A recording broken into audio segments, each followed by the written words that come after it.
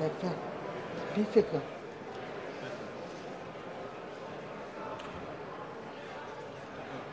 Карате тук по това и започвате после с Да, списък. да, ясно. Окей. Аз ще бъда там, ще седна. Ако се наложи нещо, ще дойда да ви кажа да. Да, да, добре. Окей. Това го оставете на страна. Така, не страни да не ми пречи. Не, не, това е моята папка. Тя ми трябва.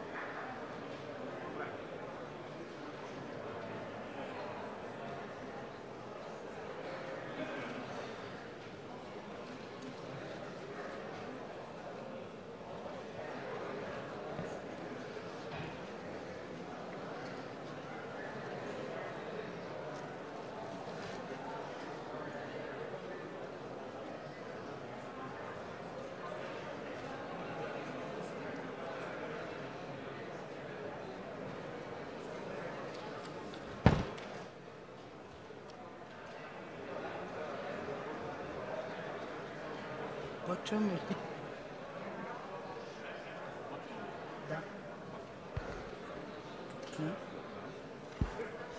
Добър ден, дами и господа. Добре дошли. Преди да започнем заседанието, съм длъжна, уважаеми колеги, да проверя дали в пленарната зала има кворум и дали има повече от половината народни представители. Тъй като нямаме система електронна, ще чета имената и ще ви моля и ще ви моля всеки, който чуе името си, да каже тук или да дигне ръка. Албена Симеонова Върбанова. Александър Тихомиров Симов. Александър Богданов Николов. Александър Иванов Мацурев. Александър Руменов Ненков. Александър Филчев Матеев. Александър Димитров Симичиев. Александър Атанасов Ат- Александров. Александър Велиславов Тодоров. Александър Николов Вълчев.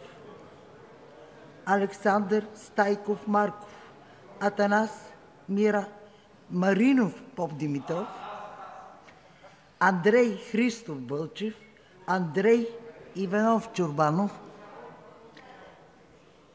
Андрей Николаев Михайлов, Анна Василева Александрова, Антуанета Димитрова Цонева, Антуанета Андонова Стефанова, Антон Йорданов Адамов, Арман Агоп Бабикян, Атанас Зафиров Зафиров, Атанас Петров Костадинов, Атанас Владиславов Славов, Атанас Петров Атанасов, Ахмед Реджепов Ахметов, Байрям Юзикян Байрям, Благовест Кирилов Кирилов, Богдан Емилов Боцев, Бойко Петров Кафеджиев. Бойко Петров Кафеджиев, извинявайте, не чух тук ли е? Да. Бойко Ебонка Сергеева Василева, Борис Цветанов, Цветков Цветанов,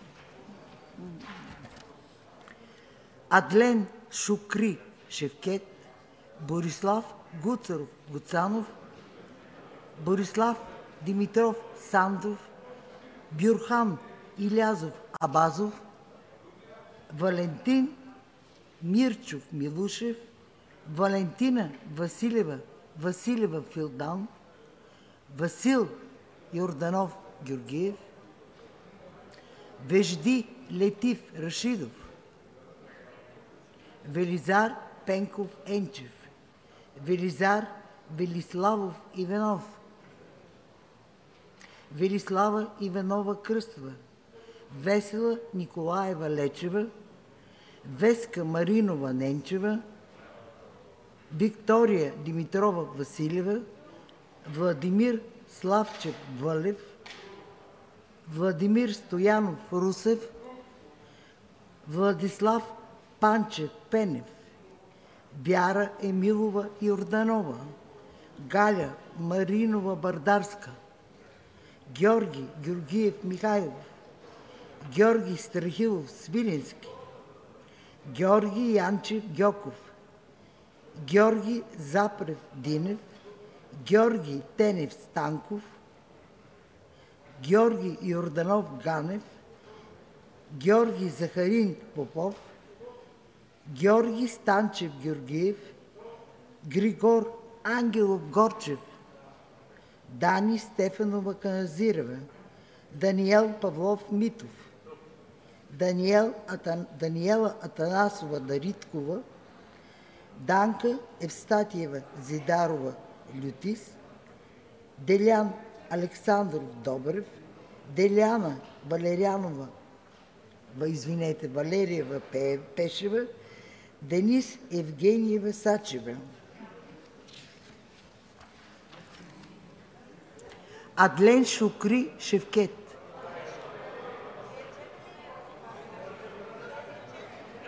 Деница Пламенова Николова.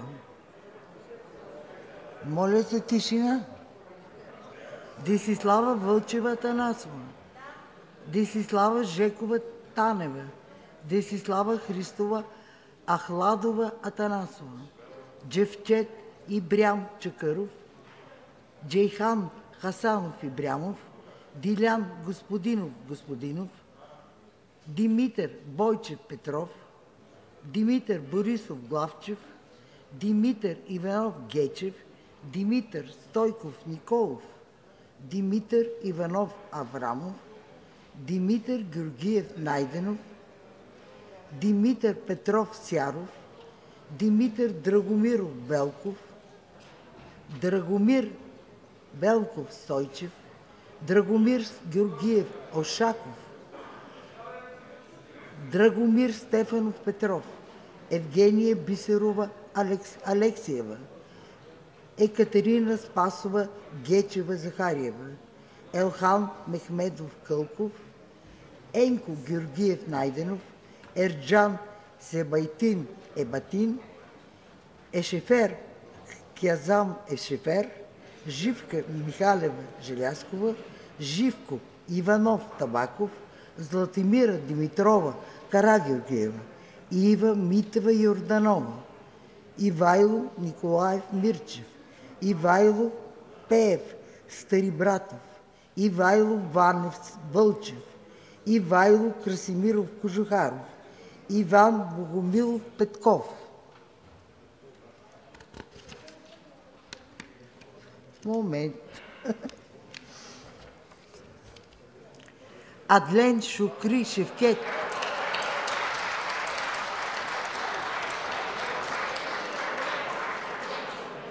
Иван Валентинов Иванов.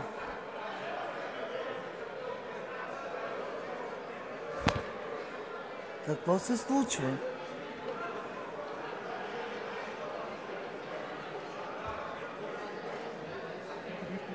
Да, да.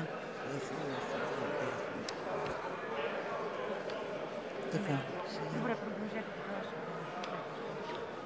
Ма тук... Тук е един и същи, да? Докъде стигнахте до Иван? Моля за извинение. Докъде стигнахте? До Адлен. Задавайте Иван. Иван, така. Иван Валентинов Иванов. Моля за извинение, имаше печатна грешка.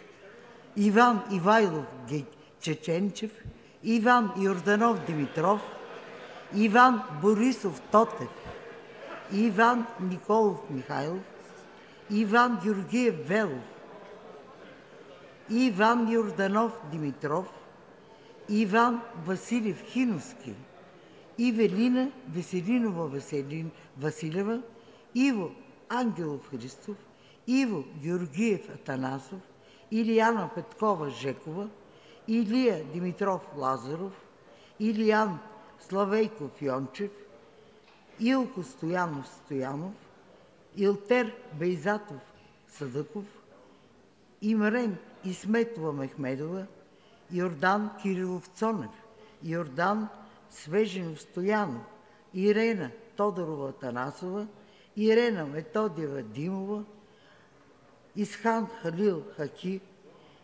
Калуян Милков Янков, Катя Максимова Пенева, Кирил Миланов Ананиев, Кирил Сашев Симеонов, Колю Йорданов Милев, Корнелия Петрова Нинова, Костадин Георгиев Ангелов, Красен Георгиев Кръстев, Красен Кирилов Кралев, Красен Георгиев Вълчев, Красимир Христов Николов, Кристиян Иванов Бегенин.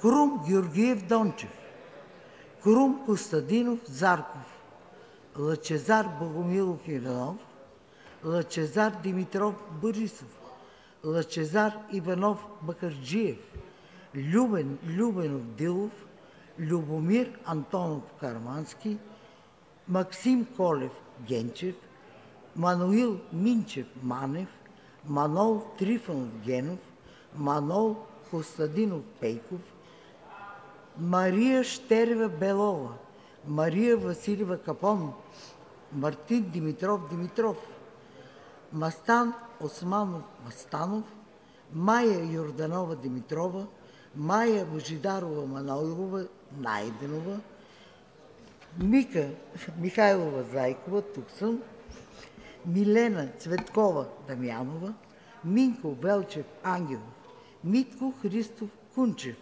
Михаела Ясенова Крумова, Младен Найденов Маринов, Младен Николов Шисков, Момчил Кунчев Иванов, Мукадес Юсуф Налбан, Мустафа Сали Карадая, Надежда Георгиева Йорданова, Невена Австатиева Минева, Никола Христов Кръстев, Николай Нанков Нанков, Николай Димитров Хаджигенов, Николина Панайотова Ангелкова, Павел Алексиев Христов, Петър Георгиев Кънев.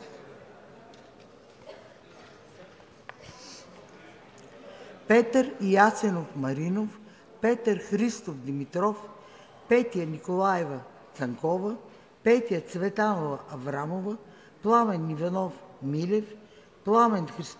Христомиров Рашев, Пламен Дулчев Нунев, Пламен Тачев Петров, Пламен Иванов Данаилов, Пламен Николаев Абрав, Абровски, Пламен Николаев Николов, Радомир Петров Чолаков, Радостин Петър Василев, Рамадан Байрям Аталай, Росен Димитров Желясков, Росица Любенова Кирилова, Румен Василев Гечев, Румен Николов Георгиев, Румен Димитров Христов, Румен Маринов Йончев, Рушен Мехмет Риза, Саша Тодоров Савов, Светлин Костов Стоянов, Светослав Бончев Колев, Светослав Георгиев Георгиев, Серафим Исмаил Али, Сергин Юсеин Мехмет, Сергей Манушев Киричков, Силви Кирилов Петров, Славена Димитрова Точева, Станислав Димитров Говедаров, Станислав Светозаров Балабанов, Станислав Тодоров Трифонов, Станчо Димитров Ставров. Стела Димитрова Николова, Стефан Апостолов Апостолов, Стефан Неделчев Мирев, Стоян Михайлов Мирчев, Стоян Костадинов Стоев, Стоян Александров Михалев, Страцимир Илков Павлов, Танер Кадир Тюрюково, Таня Тодорова Петрова, Таня Дончева Тотева, Теменушка Петрова Петкова, Теодора Маргаритова Пенева, Тихомир Гочев Тенев, Тихомир Байчев Байчев, Тодор Стаматов Тодоров, Тодор Василев Василев, Тома Любомиров Биков, Томислав Пейков Дончев, Тошко Йорданов Кажи Тодоров, Тунджай Рамаданов Юс, Юстюрук, Филип Стефанов Попов, Филип Маринов Станев, Филчо Кръстев Филев, Хайри Реджепов Садъков, Халил Реджепов Детеров, Хамид Бари Хамид, Хасан Ахмед Ахмедов, Хатидже Мехмедова Георгиева, Христо Танчев Проданов, Христо Богомилов Терзийски, Христо Георгиев Гаджев, Христо Любомиров Иванов, Христо Михайлов Дочев.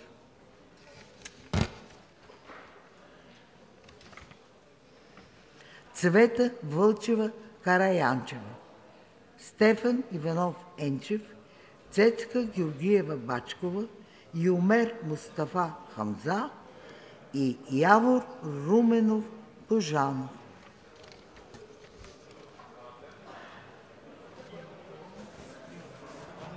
Да. Дами и господа, има кворум и нашето заседание може да продължи. Така.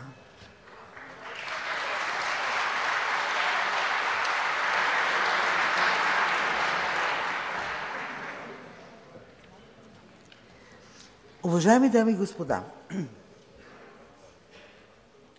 заседанието ще се предава пряко при, а, по Българската национална телевизия и по Българското национално радио. Така че, моля за усмивки и за радост.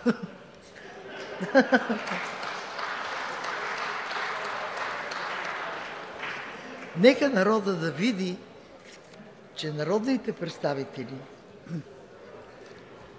в 45-то Народно събрание са хора с добро настроение и имат хумор. И така, дами и господа,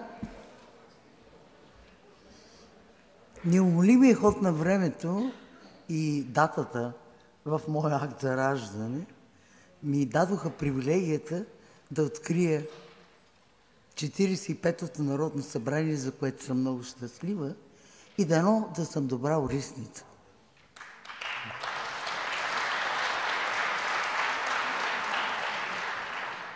Уважаеми господин президент, уважаема госпожо вице-президент, ваши превъзходителства, уважаеми господин председател на Конституционния съд и висши магистрати,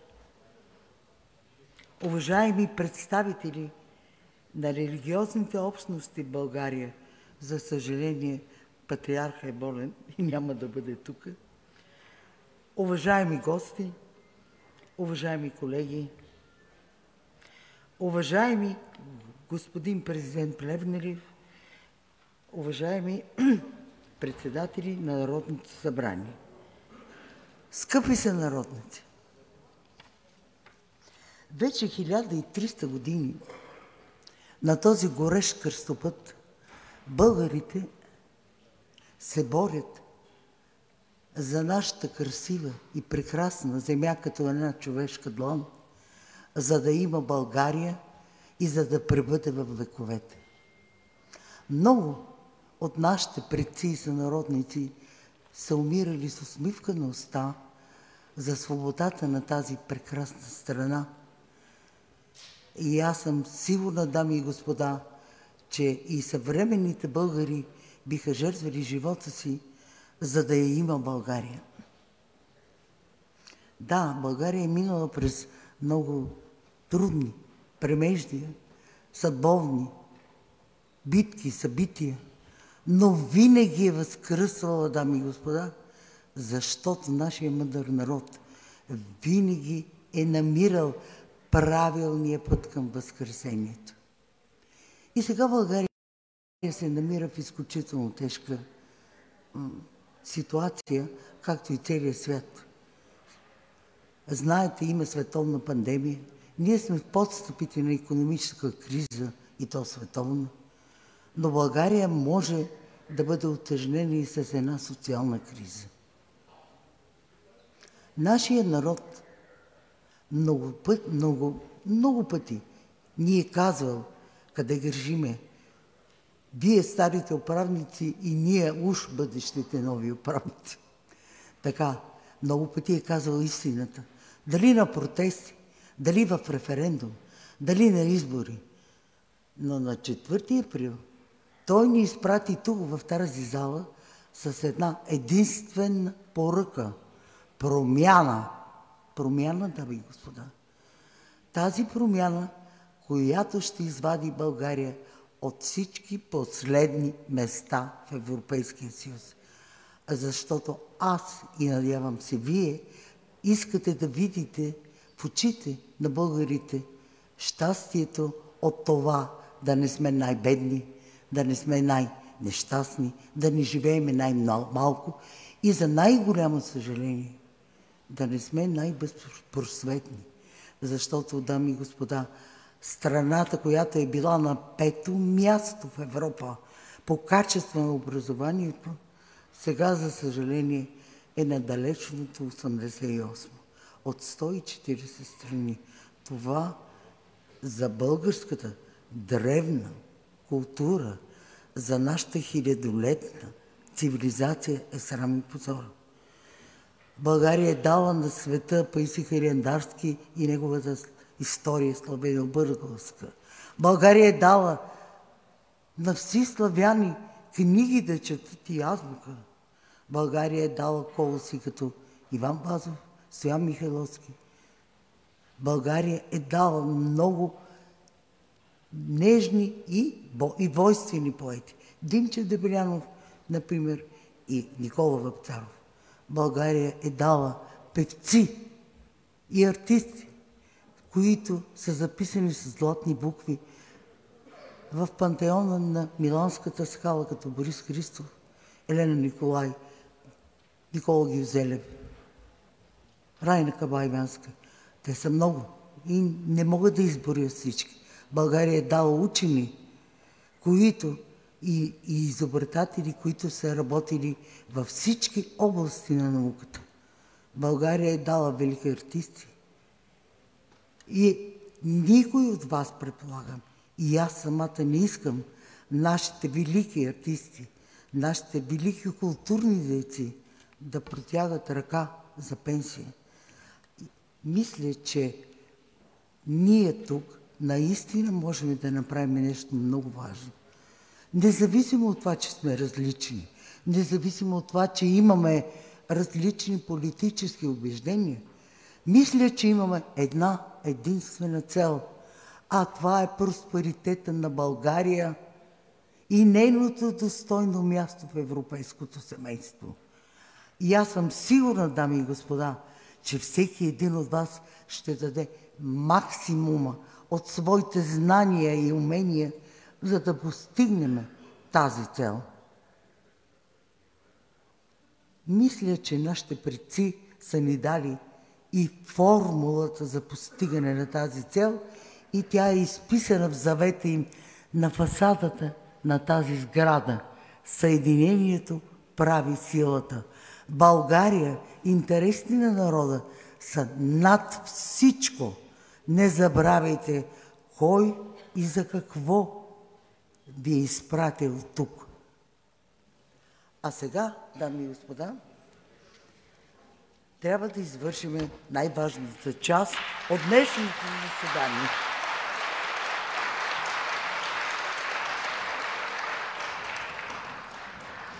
Моля, изправете се и повтаряйте след мен. Заклевам се в името на Република България да, да спазвам Конституцията и законите на страната и във всичките си действия да се ръководя от интересите на, народ, на народа.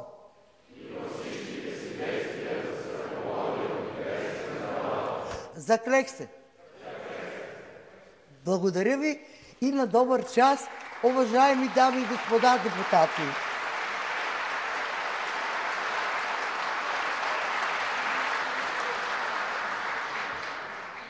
Така, ето го решението за дистанционното. Сега Да. преминаваме към него.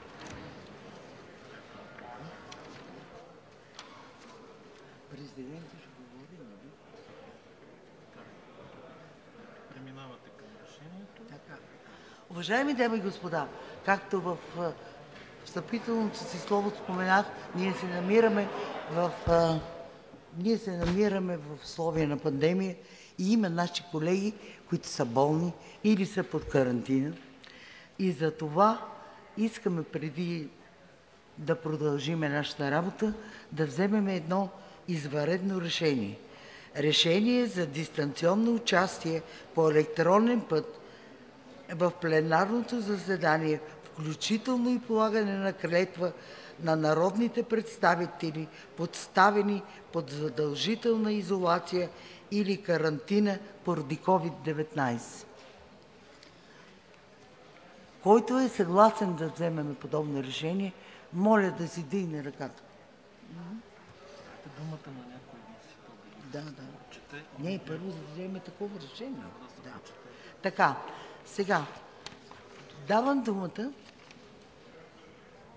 давам думата на представител от парламентарната група на Има такъв народ да прочете решението и основанията за него.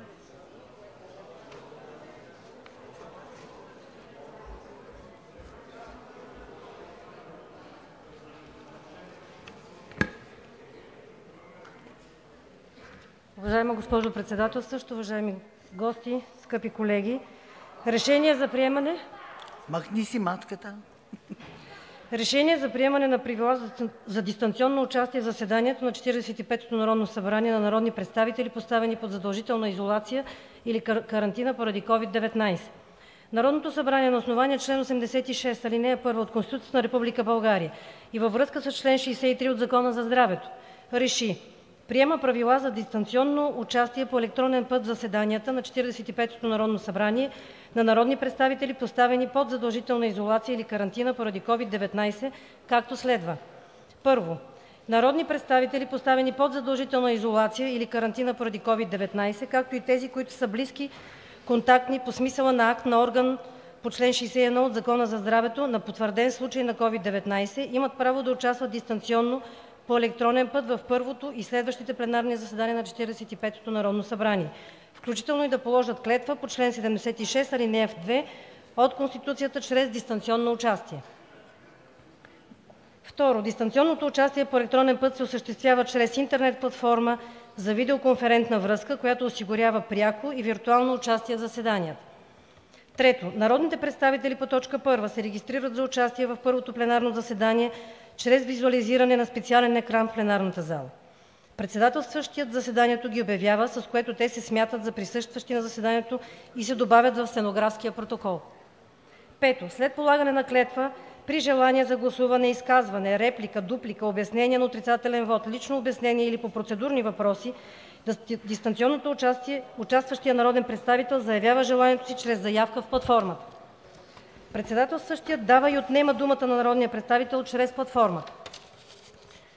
6. За неуредените въпроси, както и за участие в следващите пленарни заседания на народните представители по т. 1 се прилагат съответно разпоредбите на Решение на Народното събрание от 6 ноември 2020 г. за приемане на правила за участие в пленарните заседания на Народното събрание на народни представители, поставени под задължителна изолация или карантина поради COVID-19, с акт на орган по чл. 61, ал. 2 и 3 от Закона за здравето.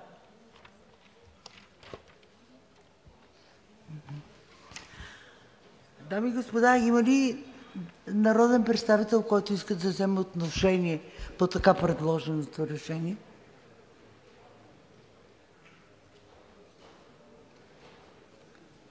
Не виждам. Значи можем да пристъпим към гласуване с дигате на ръка. Моля квесторите да вземат местата си. Режим на гласуване.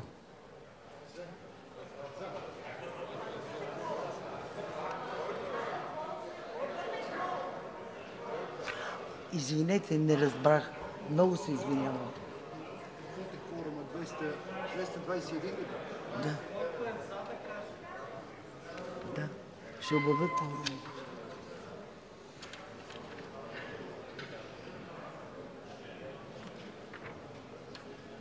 Колко е кворум? 221 ли колко е? Обявете който е за да гласува, след това който е против, след това който е. Да. Поканете ги първо, който Да. Кой е против?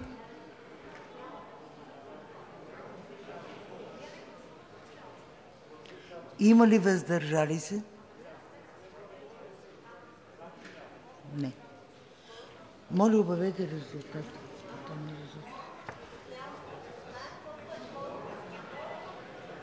Обявете гласуването. Обявете.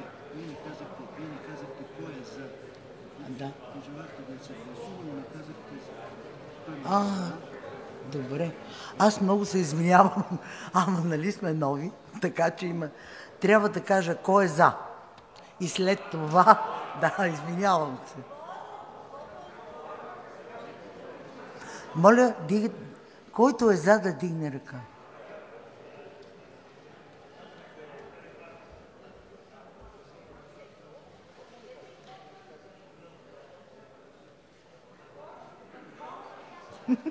Аз берат, разбер. Да. Е. Така е. Прекратете гласуването. Кой е против?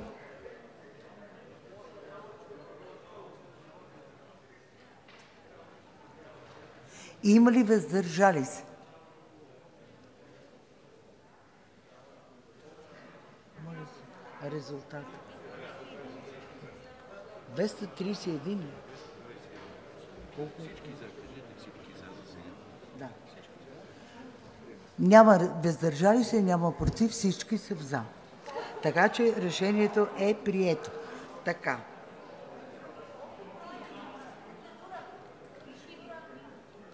Моля, включете интернет във формата за видеоконферентна връзка, която ще осигури пряко и виртуално участие на заседанието на колегите, поставени под задължителна изолация или карантина.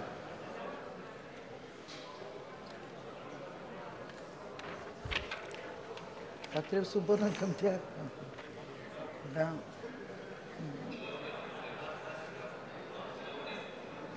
Така. Уважаеми колеги, за да станете народни представители, трябва да се закълнете. Повтаряйте след мен. Заклевам се в името на Република България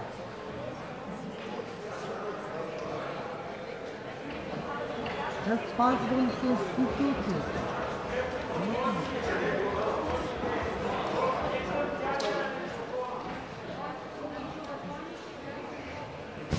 ме чуват ли? Добре. Заклевам се в името на България да спазвам Конституцията и законите на страната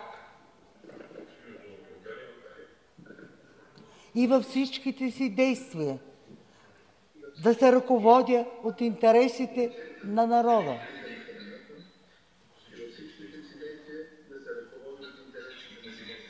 Закрех се. Добре дошли, уважаеми колеги депутати. Скорошно оздравяване.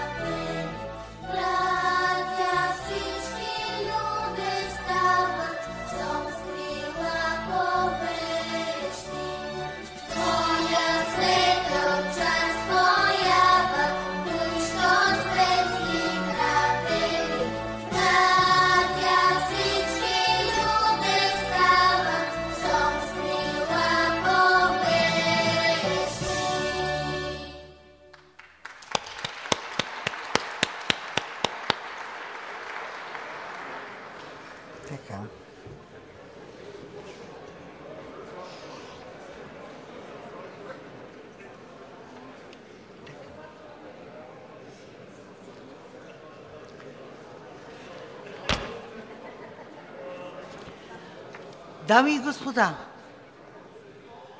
президентът на Република България изяви желание да се обърне към вас и към нашите сънародници. Давам думата на президента на Република България Румен Радев.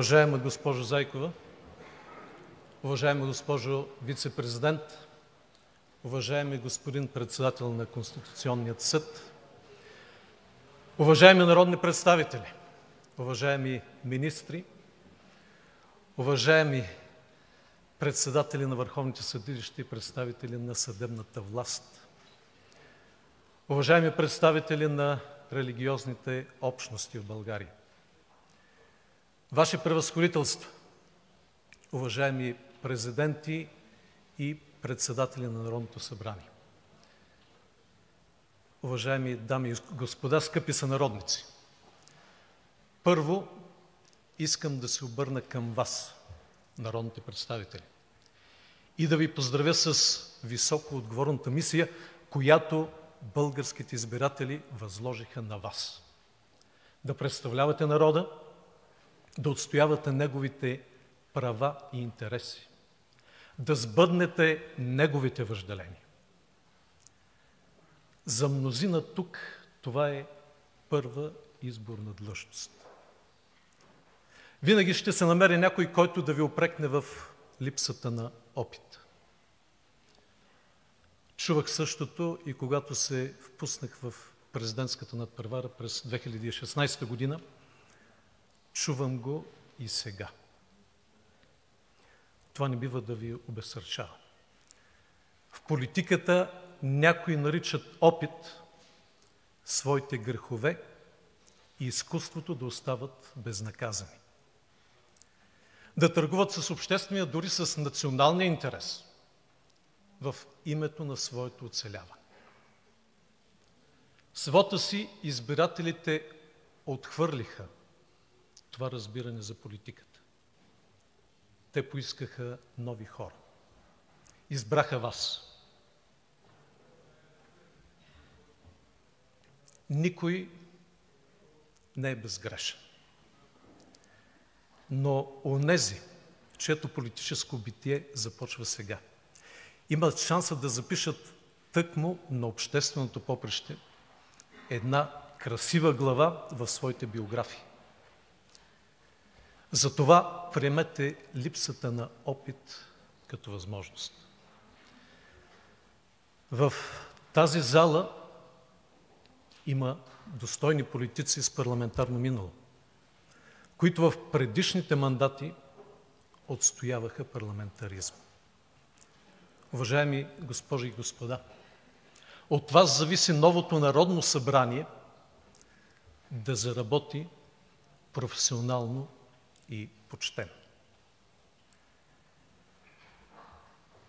Вие наследявате една институция в дълбока криза. Миналото Народно събрание абдикира от действения парламентарен контрол. Системно се прилагаха процедурни техники за избягване на общественото обсъждане. Утвърди се порочната практика законопроектите на изпълнителната власт да се внасят от групи депутати, за да не се ангажира политическата отговорност на кабинета. Ключови закони се изменяха чрез преходни и заключителни разпоредби тихомълком в други закони, които не са в центъра на общественото внимание.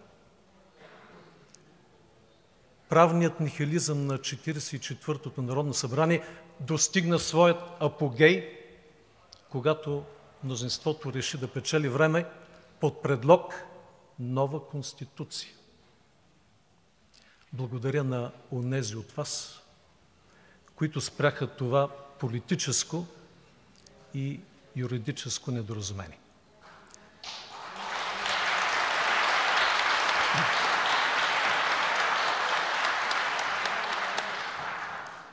Често налагах вето, но рядко, за съжаление, аргументите ми имаха оздравителен ефект. Време е да приемем, че президентското вето не е акт на война с парламента, а инструмент за усъвършенстване на законите. Всичко изброено доведе до исторически срив в доверието на най-важната институция в парламентарната република – Народното събрание. На вас се пада мисията да възродите парламентаризма.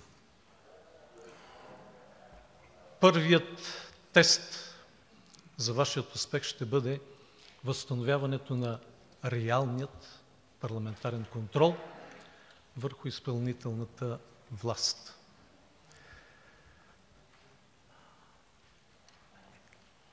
Никой не може, и вие го знаете добре като народни избранници, да ви разменя, продава или отдава под найем, нито да заглушава гласа ви. Вие носите свободната воля и доверието на хиляди избиратели. И не може да бъдете крепостни на никой политически лидер. Никой няма правото да оскърбява вашето лично достоинство, освен ако вие самите не му позволите.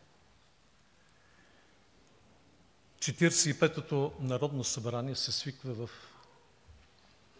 сложно време. То е израз на месечните протести и на общата воля за промяна. Всички виждаме, парламентът е фрагментиран. И някои от вас, както и мнозина анализатори, вещаят кратък живот на 45-то Народно събрание. Времето ще покаже какъв ще е той и това зависи изцяло от вас. Но колкото и да трае, пред парламента стоят отговорни и неотложни решения. Първото е по създаване на правителство. Кризата с COVID-19, фалитите, бедността, неотложната актуализация на бюджета, преодоляването на драстичното изоставане по всички важни показатели в Европейския съюз, необходимостта от интензивна модернизация на страната изискват оперативни решения. Още в понеделник ще проведа консултации с парламентарните групи за съставяне на правителство. Но постигането на управляващо мнозинство, колкото и да е необходимо, не следва да бъде математически сбор от гласове, защото безпринципна коалиция може само да задълбочи кризата. Знаете максимата, че когато всички са в управлението, народът е в опозиция. Нужни са ясни приоритети, ясна ценностна рамка, ясни граници на възможните компромиси и най-вече ясна политическа отговорност, която не се крие зад фигурите на експерти.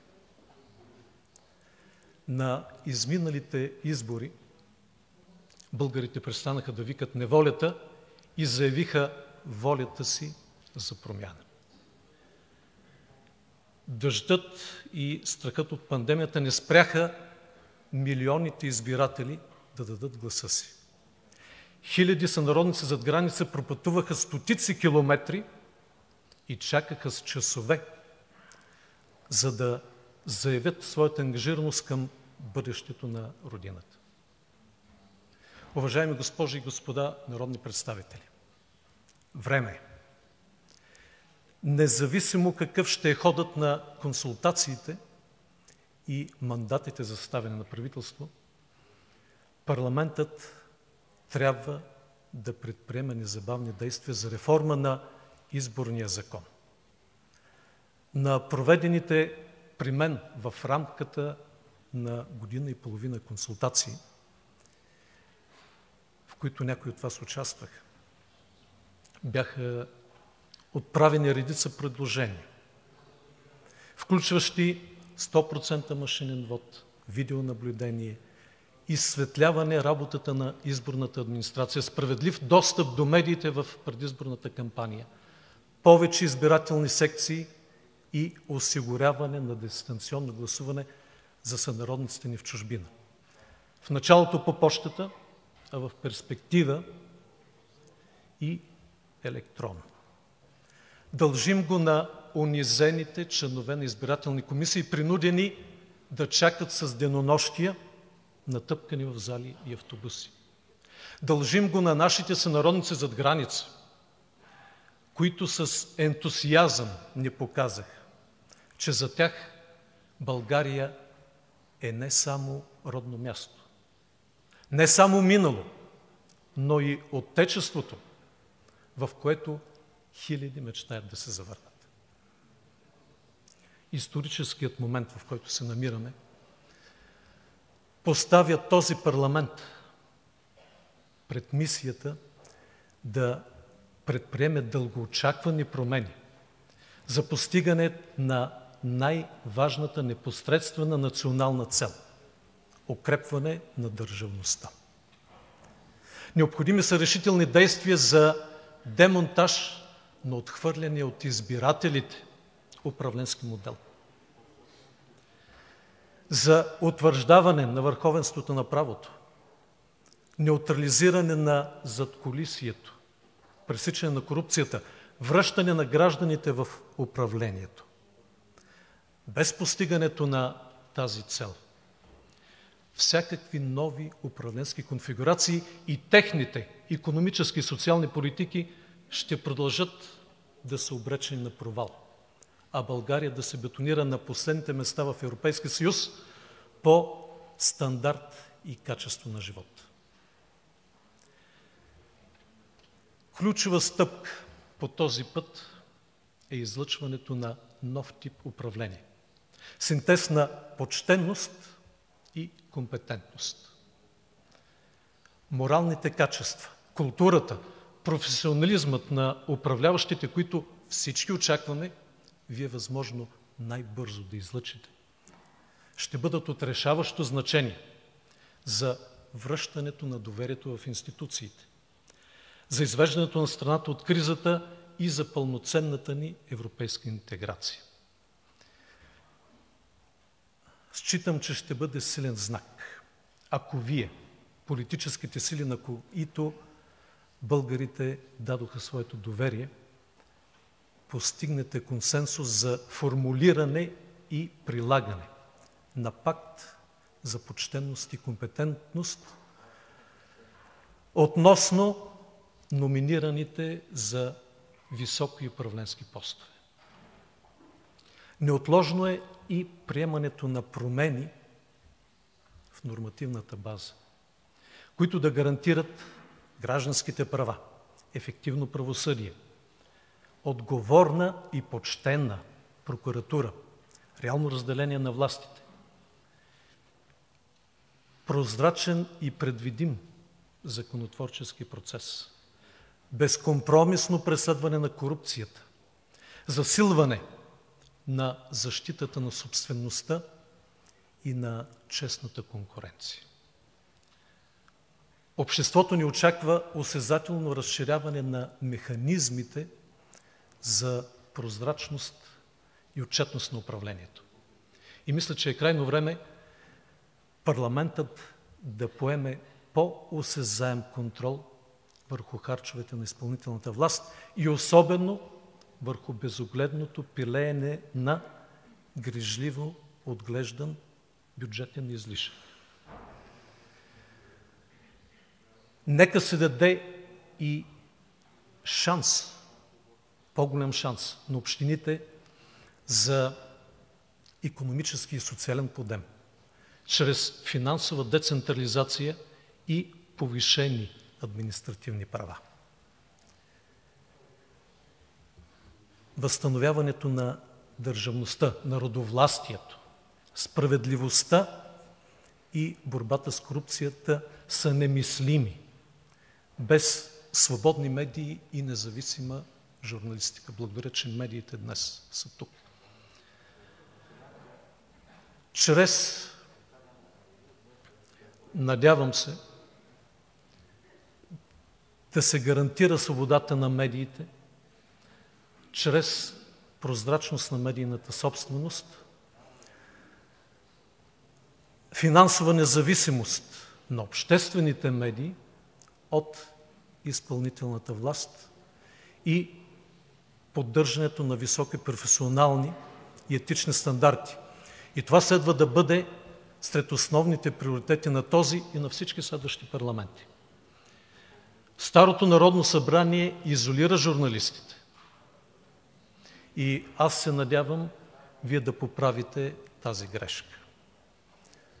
Обеден съм, че без приоритетното реализиране на промените за укрепване на държавността, които изложих пред Вас, България не може да разгърне своя огромен потенциал, който съм убеден, че всички вярваме, че тя има. Те са неотменимият фундамент, върху който следващите правителства ще могат да разгърнат съзидателни политики във всички области на обществено-економическия живот. Имаме нужда от пълноценен дебат за препятствията пред развитието на страната ни и тяхното преодоляване, за обхвата и нивото на националните ни амбиции, за целите по пътя ни към демократична, модерна и европейска България и за начина на тяхното постигане. Искам да Ви уверя, че като държавен глава съм готов да участвам в този дебат и да, да работя съобразно конституционните ми правомощия, за да изведем заедно страната ни по пътя към тези национално значими цели. Очаквам и парламентът да вземе отношение по плана за възстановяване и устойчивост. Очаквам този план, така важен за страната ни, да отчете и редица рационални предложения и да покаже по-високо ниво на национални амбиции за решителна модернизация на страната ни. Уважаеми госпожи и господа народни представители, в заключение съм длъжен да заявя. В случай, че Народното събрание не успее да излъчи правителство, ще изпълня конституционните си задължения да назнача служебен кабинет. Пожелавам Ви на всички Вас да запишете имената си в историята на България с справедливи закони и доблестно служение на Отечеството. На добър час! Благодаря, господин Кръгън. Стърпливците ги няма.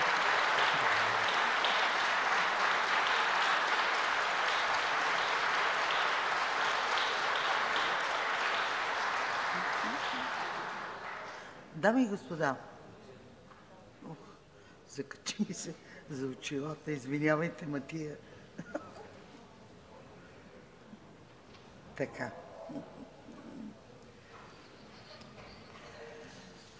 Имам да направя едно съобщение.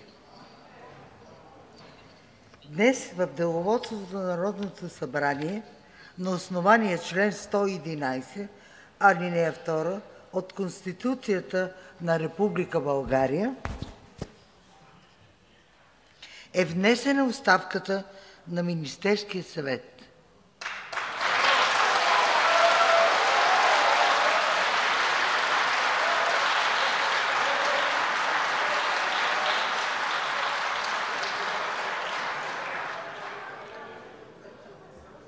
Не желая да коментирам, но това или е срам пред народа и пред вас да дойдат тук и да си подадат оставката, или е пренебрежение. Пренебрежение към тази институция. Все пак сме парламентарна република.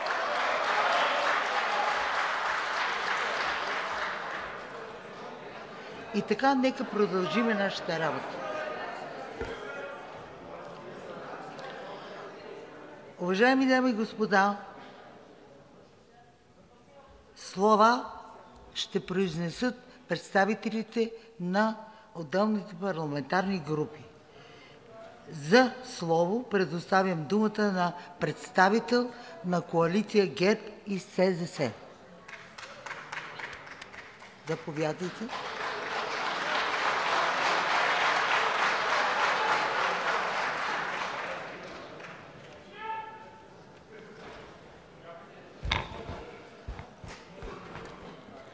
Уважаема госпожо Председателстващ първото заседание на 45-ото народно събрание, уважаеми господин Президент, госпожо Вицепрезидент, Ваши Превъзходителства, уважаеми господин Председател на Конституционния съд, уважаеми представители на религиозните общности, уважаеми членове на Министерския съвет на Република България, уважаеми народни представители, уважаеми представители на съдебната власт, уважаеми господин президент Плевнелиев, уважаеми бивши председатели на Народното събрание, дами и господа! Изборите приключиха и народът се произнесе. С това завърши и лесната част от работата на всички нас – новоизбраните. Днес е време всички ние да поемем своята отговорност към гласа на избирателите си, към стабилността на държавата и към едно по-добро утре. А отговорността е тежка. Често пъти тя е непоносима за онези, които гледат на политиката единствено като средство за изграждане на имидж. Ние сме изправени пред здравни, икономически и социални предизвикателства. От позицията на хора с по-голям опит ще Ви кажем, че една криза не може да се управлява само с говорене. Една криза се управлява с действия и с вземане на решения, а често пъти най-наложителните и най-правилните решения са непопулярни. На отминалите парламентарни избори 837 707 български граждани гласуваха за ГЕРБ. Нито една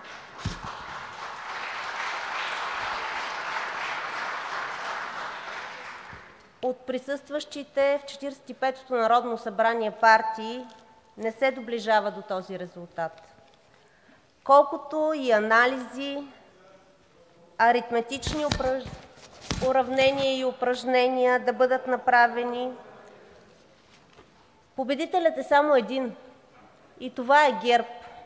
Поне е редно да го признаете.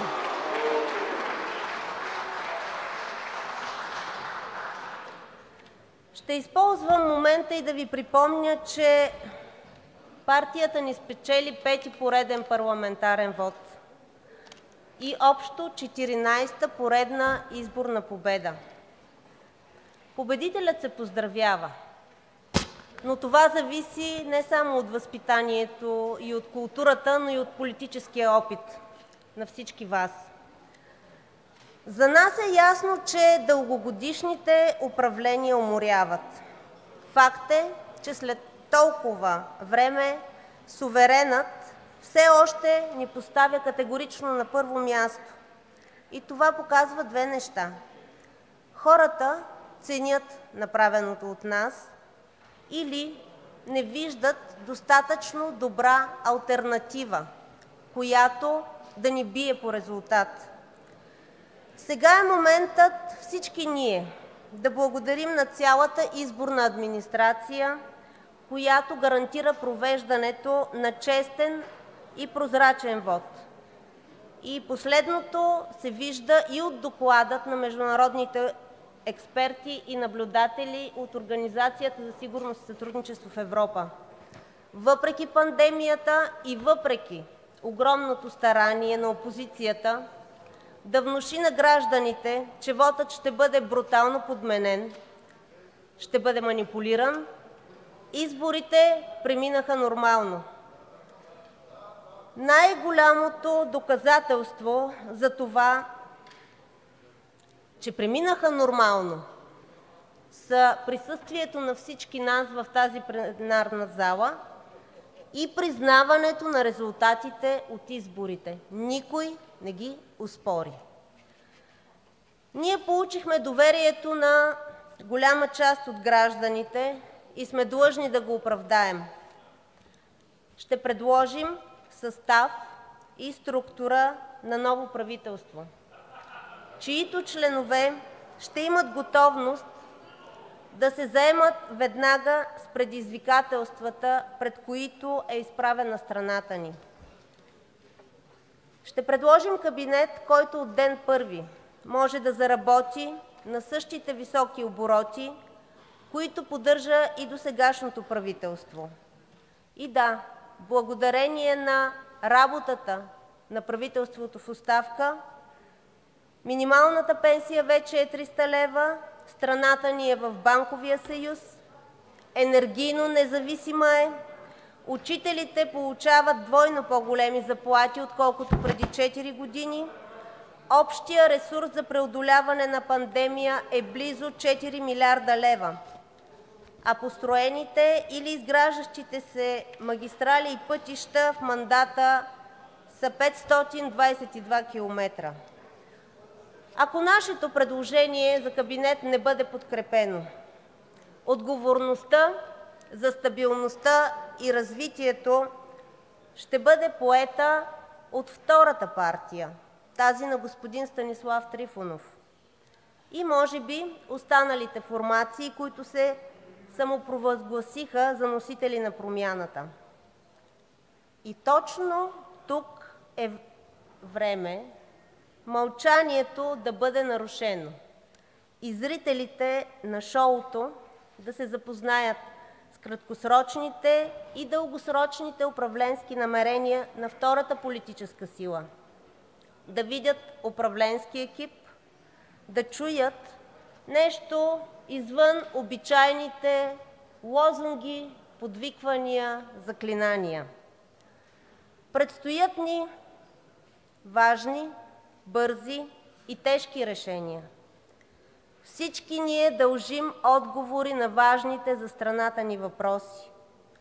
Ще продължат ли мерките в подкрепа на бизнеса? Ще се налагат ли нови ограничения? Ще продължим ли курса към еврозоната?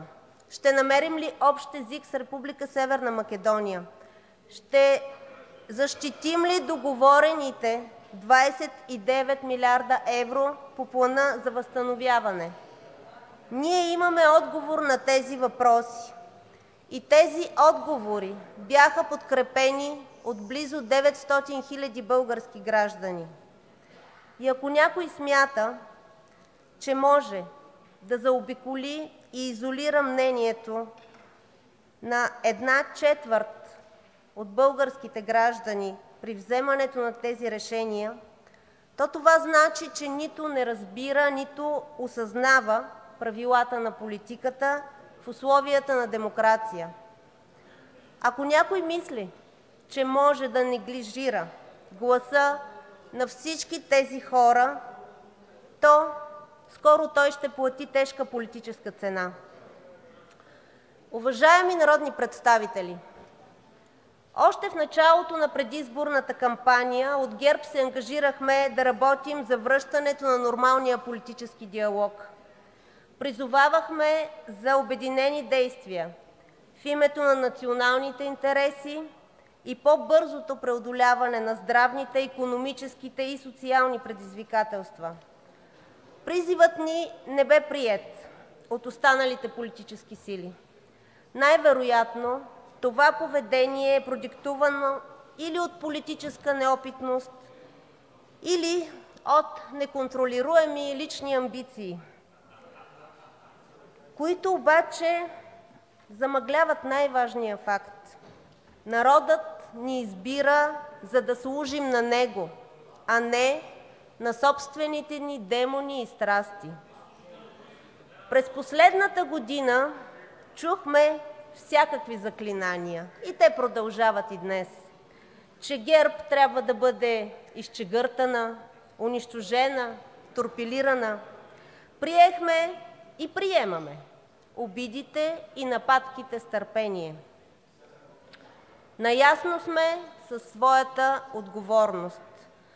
Затова днес ясно можем да кажем, че омразата не гради, единствено може да руши и да дълбае пропасти в обществото. Отрицанието на политическия опонент наистина може да донесе временен успех, След това обаче този, който е използвал омразата за основно свое политическо оръжие, е длъжен да покаже в какво и с какво е по-добър, и то в среда на разделение и гняв. Това е по-трудната задача и ако тя не бъде изпълнена, пътят е само един – обратно, към политическото небитие. Ще си позволя да разсея една огромна заблуда, която смело циркулира в някои части на залата и днес. На 4 април българските граждани не казаха: ГЕРБ трябва да я няма. Напротив, хората излъчиха нас – силно фрагментиран парламент, и ясно заявиха, че очакват от всички нас, техните представители, да намерим съгласие и заедно да се борим предизвикателствата пред страната ни. Това е трудна и отговорна задача. За съжаление, вероятно някои не само не са в състояние да участват в нейното решение, а може би трудно я разбират. Говоренето за нови избори в разгара на лятото е най-видимият симптом за това неразбиране. На изборите българите казаха своята дума, а ние трябва да им отговорим с политически решения. Ако не сме в състояние да го направим, това означава, че не ги разбираме. Затова още веднъж казваме, че сме готови да предложим управление на страната и да протегнем ръка към политическите си опоненти. Ние отказваме да носим отговорност, ако страната бъде хвърлена в хаос и безпътица, за да може една или друга партия при едни предсрочни избори да спечели няколко още хипотетични депутата. Предупреждаваме, че безвремието на един служебен кабинет ще бъде платено от всички български граждани. Тази цена ще се състои в задълбочаване на икономическите проблеми, невъзможност държавата да помогне на всеки пострадал от кризата и по-бавното възстановяване от нея.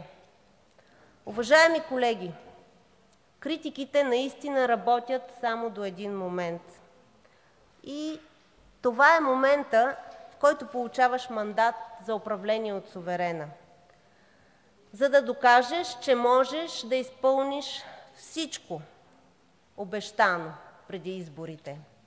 И тук става трудното, защото отговорността за милиони съдби тежи. Трябва да имате силни плещи и огромно търпение, за да я понесете. Злобата и жаждата за реваншизъм и мъст не са достатъчни, за да управляваш държава. Вече разбрахме, че Картаген трябва да бъде унищожен. Все още не сме разбрали какво следва след това. Вие дължите този отговор не на нас, а на всички българи и най-вече на онези, които са Ви подкрепили. Единственото, което видяхме в този момент, е, че в тази сложна и тежка обстановка парламентът започна работата си с закани за реваншизъм. Това ли са плодовете на Вашата въображаема победа? Сигурна съм, че още с клетвата, която положихме днес, всички чувстваме тежестта на доверието, което ни определи за народни представители. И вярвам, че и днес, в този изпълнен с изпитания за нацията период, България ще намери своите отговорни държавници, които ще работят всеотдайно. Намираме се в здравна криза, която може да прерасне социална и икономическа. Нека решаваме кризите, а не да ги задълбочаваме. Колеги, от днес има работещ парламент. Надяваме се скоро да има и работещо правителство, което да поеме своята отговорност. Правителство с програма и с лице към хората. Очаквам всички ние и правителството, и всички институции заедно да работим за наболелите пред обществото ни проблеми. Много пъти нашата родина е била в трудни ситуации. Неведнъж резултатите от изборите са били изненадващи, но нямаме право да бягаме от отговорите на сложната задача, която избирателите поставиха пред всеки един от нас, защото хората очакват да живеят добре и достойно, и то не само в обозримо бъдеще, а видимо да усетят промяната за по-добро в своето ежедневие. Много скоро тук в тази зала ще стартират дебатите по необходимите краткосрочни и дългосрочни мерки. Народното събрание трябва да предложи ефективни решения, които да имат устойчив и траен резултат. За да се случи всичко това обаче, е необходим системен подход, основан на приемственост на приоритетите и силен знак за запазване на стратегическите приоритети на държавата – достойно членство в Европейския съюз и НАТО, влизането в Шенгенското пространство, приемането на еврото, отстояването на макроекономическата стабилност, подкрепа за инвестиции, заетост, доходи, пенсии, но както и срещу ксенофобията, антисемизма и други прояви на нетолерантност. Не само България, Европейският съюз, но и други държави по света са в тежка здравна криза. Надяваме се, че кризата скоро ще отмине, но ние днес с действията си ще определим мястото на България в Европа и в този бързо развиващ се свят. Трябва да отговорим на българските граждани и техните очаквания за растеж и заетост и каква страна искаме да бъдем и тази, и следващата години. Знам, че на този ден по традиция се отправят големите политически послания, чертае се визия. Въпреки това то трябва да си припомним, че всичко започва с ясните отговори на конкретните наболели пред нацията ни проблеми. Първите оценки за своята работа новият парламент и правителство ще получат от това какви решения ще предложат в областта на здравната и социалната сфера, как ще надградят постигнатото в европейските фондове, макроекономическата стабилност и политиките за ускорено изграждане на модерната инфраструктура. Още преди съставяне на следващото правителство ние, политическите партии в 45-ото народно събрание, трябва да дадем отговор на въпроса как ще гарантираме политиките за увеличаване на доходите и в подкрепа на тези, които са в нужда не само чрез осигуряването на помощи, а чрез създаване на условия за реална, качествена и устойчива заетост.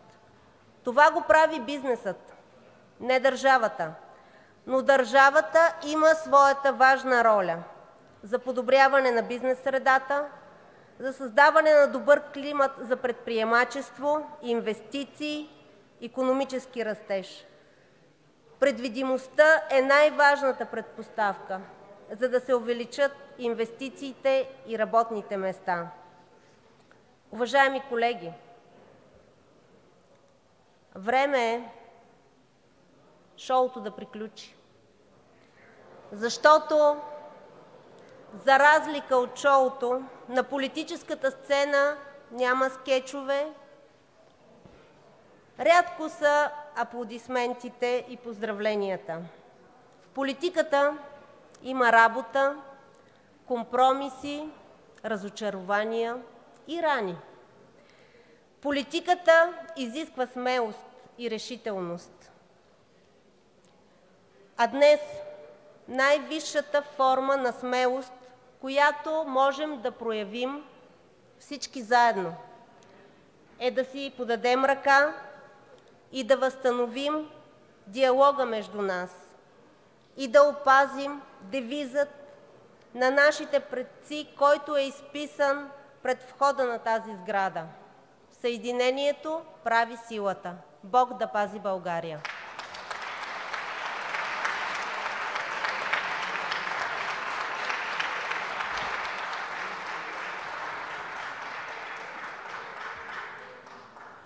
Благодаря Ви, госпожо Атанасова, за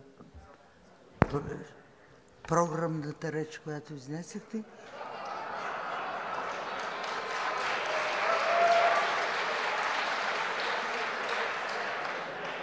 Дами и господа, много Ви моля да се въздържате от обидни намеци.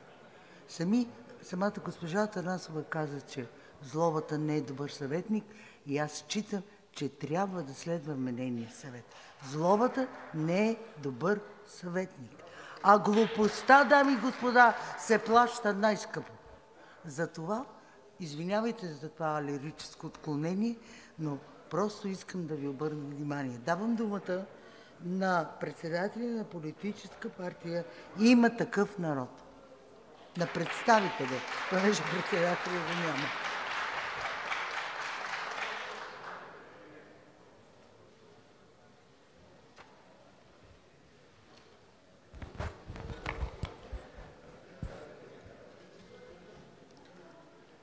Уважаеми господин Президент, госпожо Вицепрезидент, Ваши Превъзходителства, уважаеми Председател на Конституционния съд и представители на съдебната власт, уважаеми представители на религиозните общности в България, уважаеми народни представители, уважаеми граждани, които сте извън тази зала, които сте в момента пред парламента, уважаеми български граждани, които сте пред телевизорите! Момента и тези, които са на работа, да,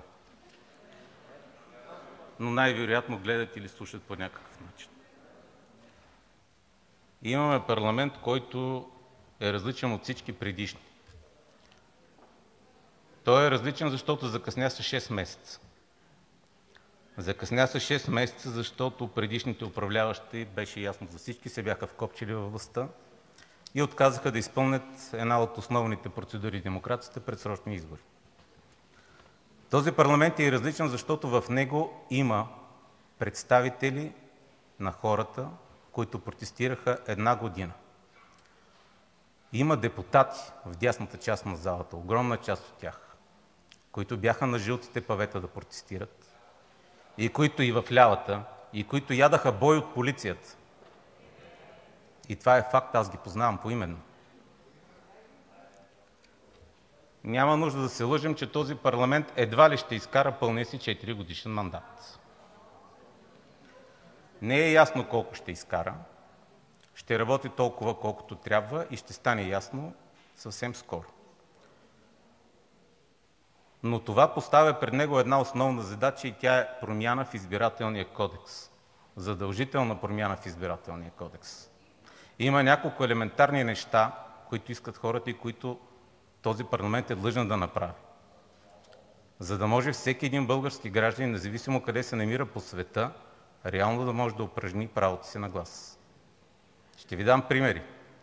Трябва да се махне това ограничение за секциите в чужбина. Трябва българите в чужбина да могат да гласуват и по пощата. Трябва да има 100% машинно гласуване. Трябва да се разпусне ЦИК и да се избере нова Централна избирателна комисия.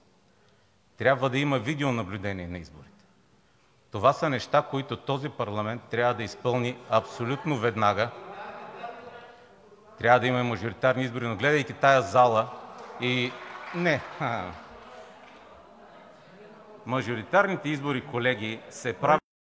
Биков, Партията, която ги предлага, няма мнозинства.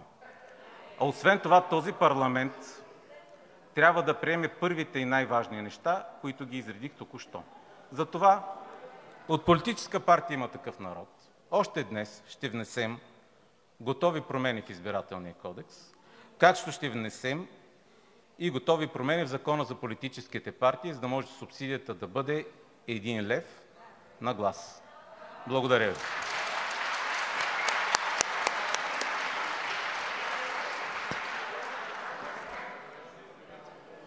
Предоставям думата на представителя на Коалицията България – БСП,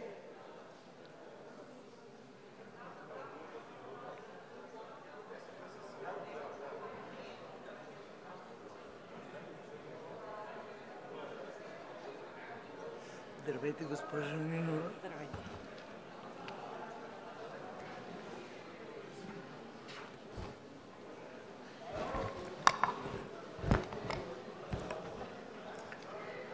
Уважаема госпожо Зайкова, уважаеми господин Президент на Република България, уважаема госпожо Вицепрезидент, Ваши Превъзходителства, уважаеми господин Председател на Конституционния съд, уважаеми представители на религиозните общности в България, уважаеми колеги народни представители, уважаеми представители на съдебната власт, уважаеми господа президенти на републиката и председатели на Народното събрание, уважаеми български граждани! Днес не просто откриваме поредното Народно събрание.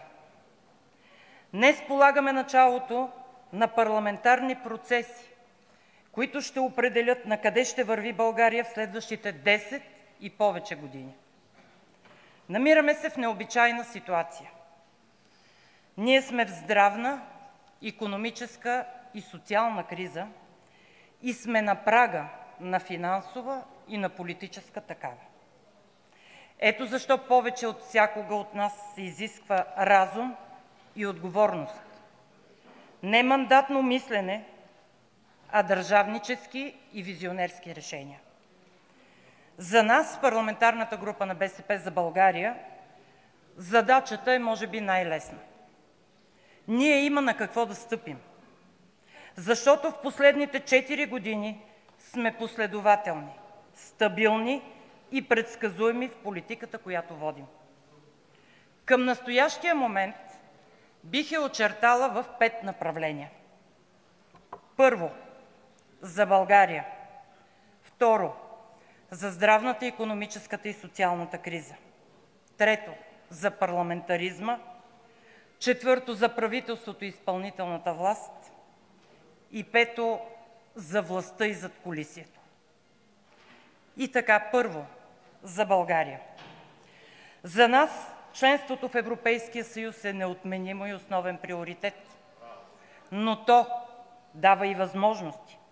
И в конкретния момент най-важната възможност е Планът за възстановяване и устойчивост. Той е възможност за развитие на високотехнологична икономика, за работни места, за преодоляване на неравенствата по доходите и регионалните и намаляване на бедността, за развитие на здравеопазване, образование и култура. Правителството на Борисов се провали в тази най-важна за развитието на България в следващите 10 години задача.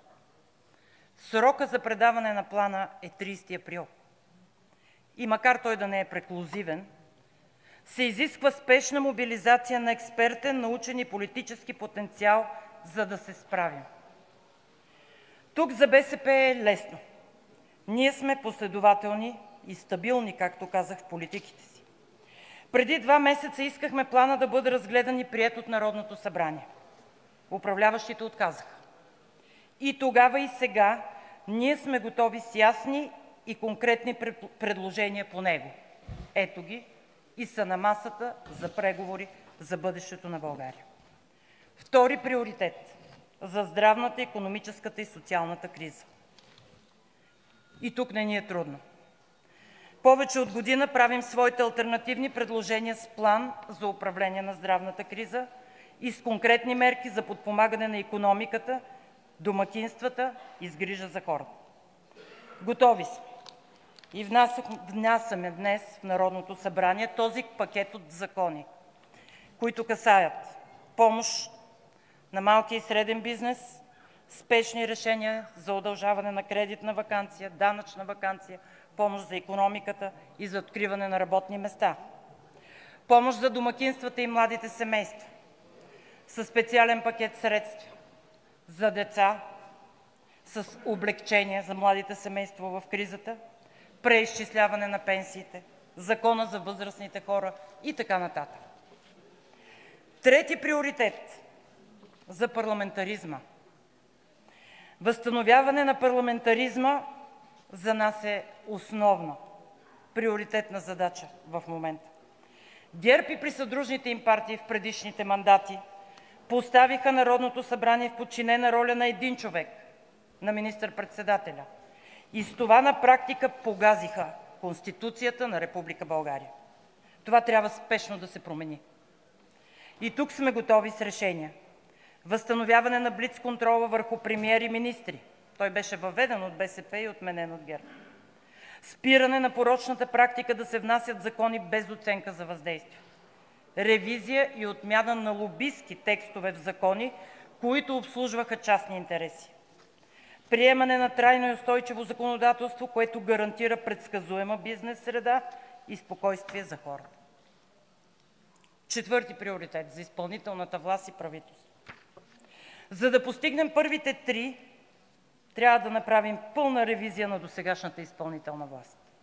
За целта предлагаме да започнем със следното: Първо, Народното събрание да наложи мораториум на сегашното правителство, макар и в оставка, до съставяне на ново, върху сключване на договори за продажби, концесии, назначения и удължаване срокове по договори и бордове и ръководства на комисии и агенции.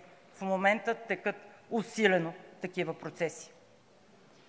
Следващо, премиерът и финансовият министър да отчетат пред нас реалното финансово състояние на държавата и да внесат актуализация на бюджета. В последните три-четири месеца, уважаеми дами и господа, са изхарчени над 5 милиарда лева извън решения на Народното събрание. В резерва има свободни средства в размер само на 1 милиард и 400 лева, извън заделените от закона в Сребърен фонд, фонд „Козлодуй“ и така нататък. Има опасност да посегнат на Сребърния фонд, където има 3,3 милиарда лева, така както го направиха през 2010 г. с резерва на Здравната каса. Затова ние не просто констатираме тези факти, а действаме. Внасяме днес в Деловодството на парламента промени в Закона за публичните финанси, с които се ограничава възможността на министър-председателя, който и да е той – сегашният в оставка или бъдещият, който ще бъде излъчен, който и да е той, да бъде ограничен във възможността да харчи безконтролно парите на хората.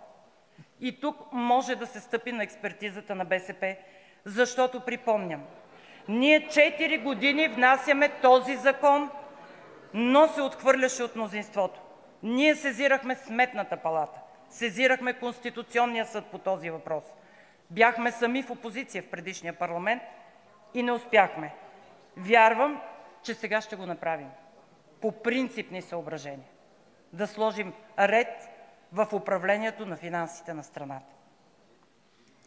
Продължаваме с желанието всички корупционни схеми и сделки, всички скандали да бъдат разследвани, да се носи отговорност и да има справедливост към виновните.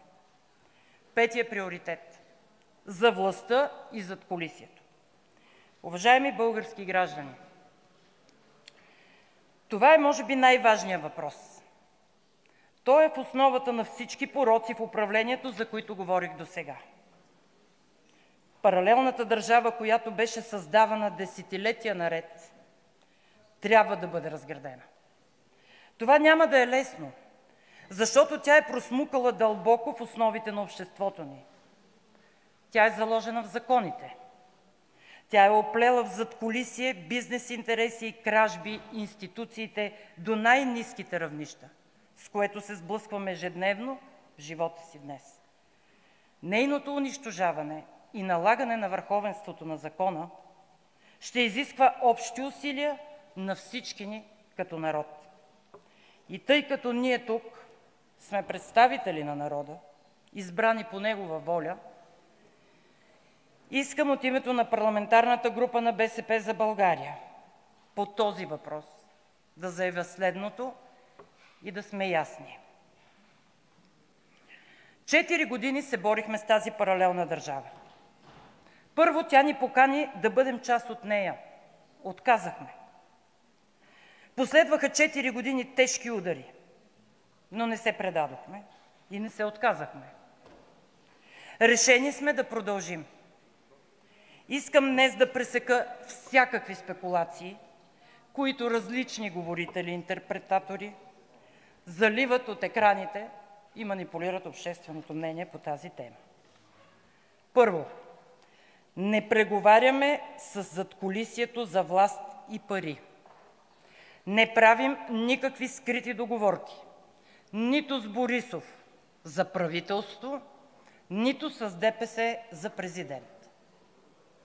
Ние сме за открито, стабилно, честно и смело управление, което да започне разграждане на паралелната държава. Но ние сме и за компетентно правителство, което да гарантира перспективата за България и благосъстоянието на българския народ. Няма да подкрепим правителство на ГЕРБ. Няма да правим голяма коалиция. Ако сме искали, можехме да я направим преди четири години, да си спестим много проблеми и да се обогатим. Не го направихме тогава, не го правим и сега и моля за спиране с тези спекулации. Бихме подкрепили правителство, предложено от втората сила – „Има такъв народ“, по политики, насочени към разграждане на порочния модел на управление и градеж за България. Ако те не предложат правителство и ако и когато третият мандат бъде връчен на нас, партията ще реши какво да прави. Пожелавам здраве, мъдрост и решителност, по-малко емоции и повече разум. Сигурна съм, че всички осъзнаваме отговорността си в този ключов за България момент. Нека да я носим достойно! Благодаря Ви, госпожо Нинова.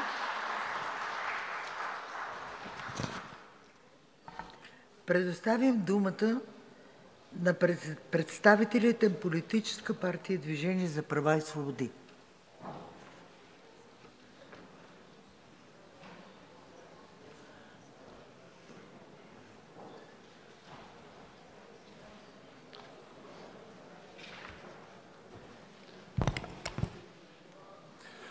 Уважаема госпожо Председател, уважаеми господин Президент, госпожо Вицепрезидент, уважаеми господин Председател на Конституционния съд, уважаеми ръководители на съдебната власт, уважаеми господа президенти и председатели на Народното събрание, уважаема госпожо Омбудсман, уважаеми господин Председател на ЦИК, Ваши Светейшества, ръководители на вероизповеданията в България, Ваши Превъзходителства, уважаеми гости, уважаеми госпожи и господа народни представители!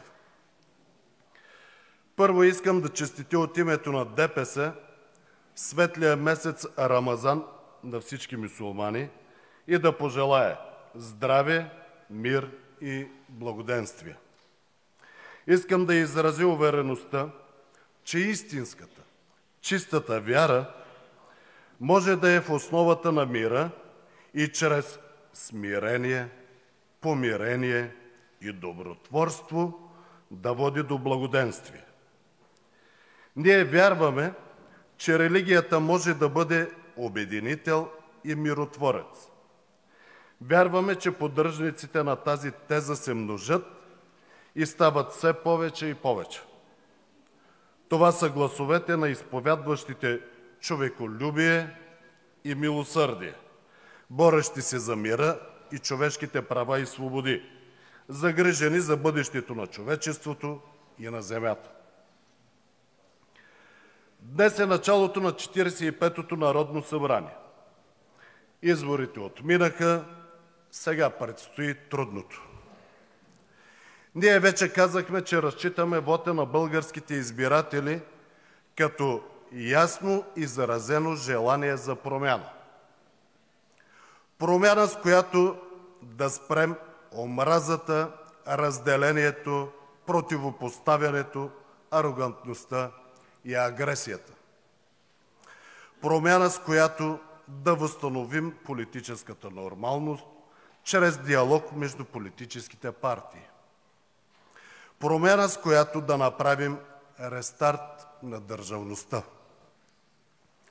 Едновременно с това обаче българските граждани не дадоха мандат за съставяне на правителство на новите три партии в 45-тото Народно събрание. Те имат 92 мандата общо. Някои разчитат този резултат като воля на избирателите за нови избори. Може. Виждаме, че сме по-близо до тази перспектива и в тази връзка ние от ДПС категорично сме готови за избори веднага. От гледна точка на държавата обаче нещата не стоят точно така. България се намира в безпрецедентна комбинация от няколко кризи – пандемична, икономическа, социална, институционална. Ако си позволим да прибавим към тях и политическа, ще сбъркаме сериозно. Ние смятаме, че сега е моментът да започне възстановяването на нормалността в българската политика. Години наред фактически липсва нормален диалог между политическите субекти.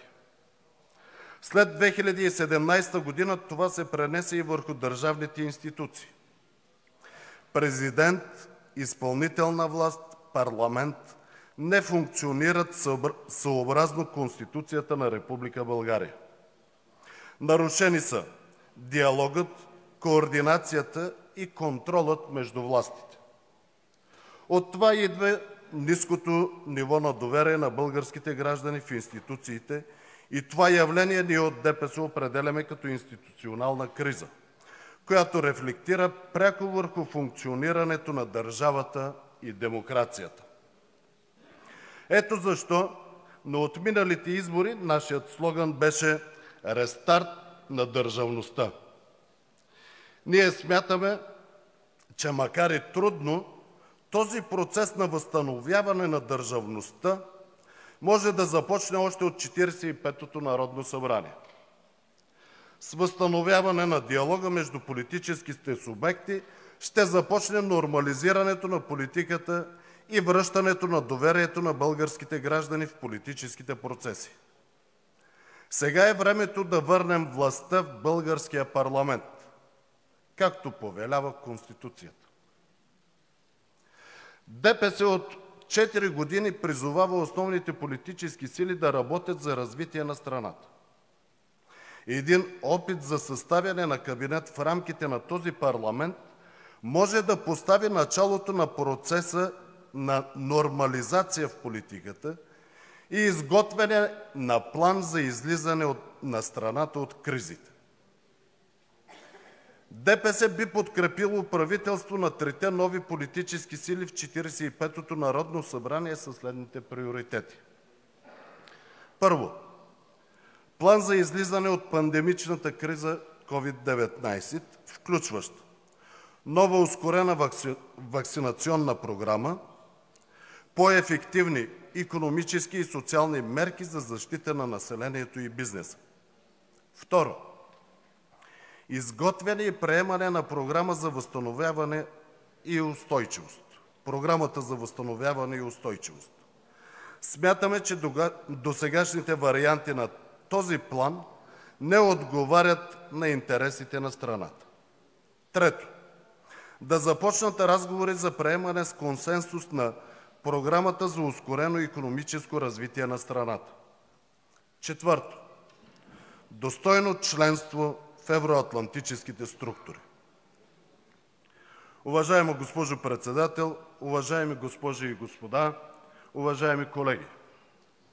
Изборите показаха, че, е необходимо ново начало, нов модел на управление, нов модел на отношение, нов подход към решаване на проблемите. Парламентът е длъжен да отговори на това изискване на суверена.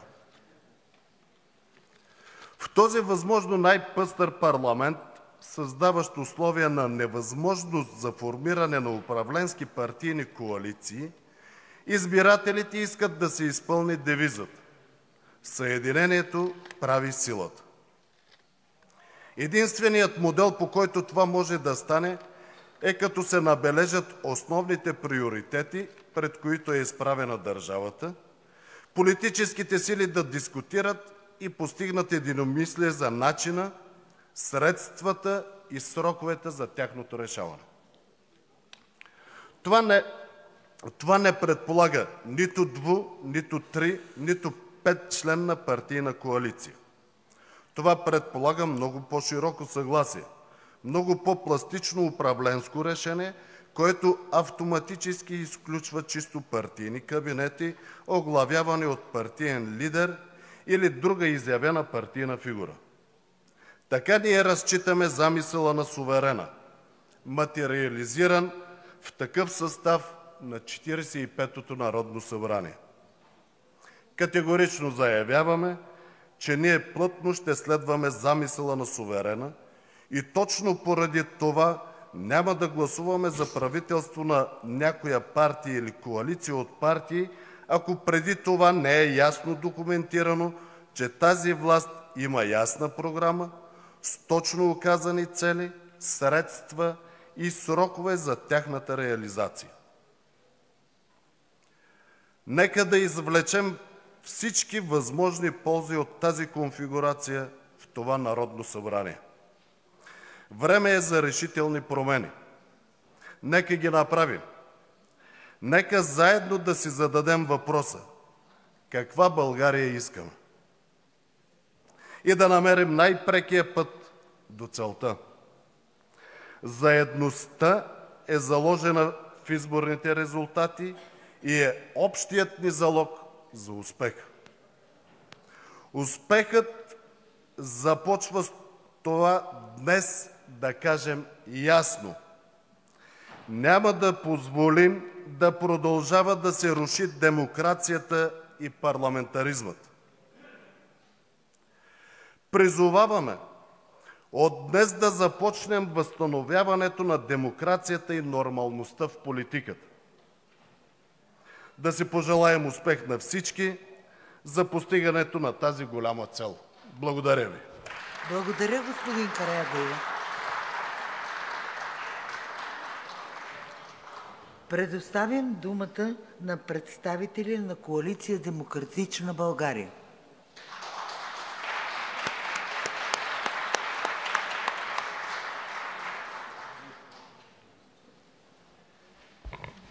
Здравейте!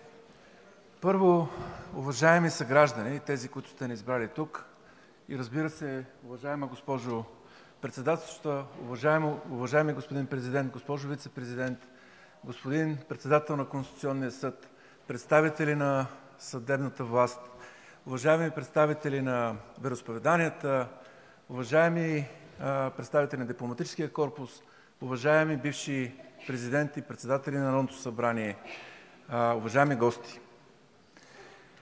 Изборите приключиха и откриваме едно Народно събрание, над което тегне въпросът дали изобщо ще го бъде. Откриваме го, и аз много се радвам, в неговата естествена сграда, в неговия истински дом. Спомням си как при встъпването си в длъжност президентът Петър Стоянов беше казал, че парламентаризма, цитирам по памет, не се състои от вар и тухли, а се състои от съгласие. Днеска много се говори за съгласие, за обединение, за единение, за заедност, но парламентаризма се оказва, че се състои и от вари от тухли. Тази сграда не е просто символ. Тази сграда е материализация на това да има прозрачен парламентаризъм в България, да има отворен парламентаризъм в България, да има традиция, която ни свързва с най-добрите примери за граждански кораж, за устояване на ценности. Тук е мястото на българския парламент и това, че ние се върнахме тук от партийния дом, е много добър знак, макар че това, което ни предстои, е много сложно. Искам да кажа, че се говори много за съгласие, за диалог и това са хубави неща, но не забравяме ли, че трябва да има законност?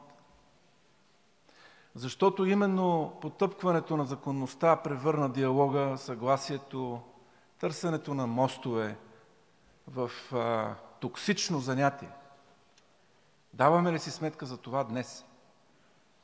И даваме ли си сметка, че в крайна сметка основното нещо, което искат българските граждани е това – законност, правила, здрави институции, които са си на мястото, за да може българската държавност наистина да а, бъде модерна, европейска, свободна, това, което са ни завещали възрожденците, тези идеали. Това няма да стане само с сговаряне по кюшетата. Това изисква законност. И ние трябва първо това да сложим като свой приоритет на своята работа. Да, задачата е изключително трудна. Във всички изказвания до сега стана дума за въпросът, който тегне на това Народно събрание, ще го бъде ли изобщо. Изглежда, че то ще може да свърши само една от задачите, които му беше поставено в българското общество, една част от промяната и това е да отстрани от управлението Бойко Борисов, ГЕРБ и техните вечни партньори по консумация на властта ДПС. Това не е малко.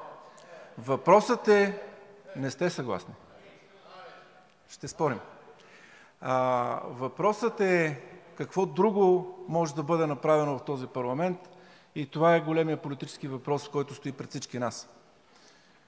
Чертаят се разделителни линии, търсят се обединяващи а, така, знаменатели, но преди това ми се струва, че наистина е много важно да се фокусираме върху това, което имаме да свършим като задачи.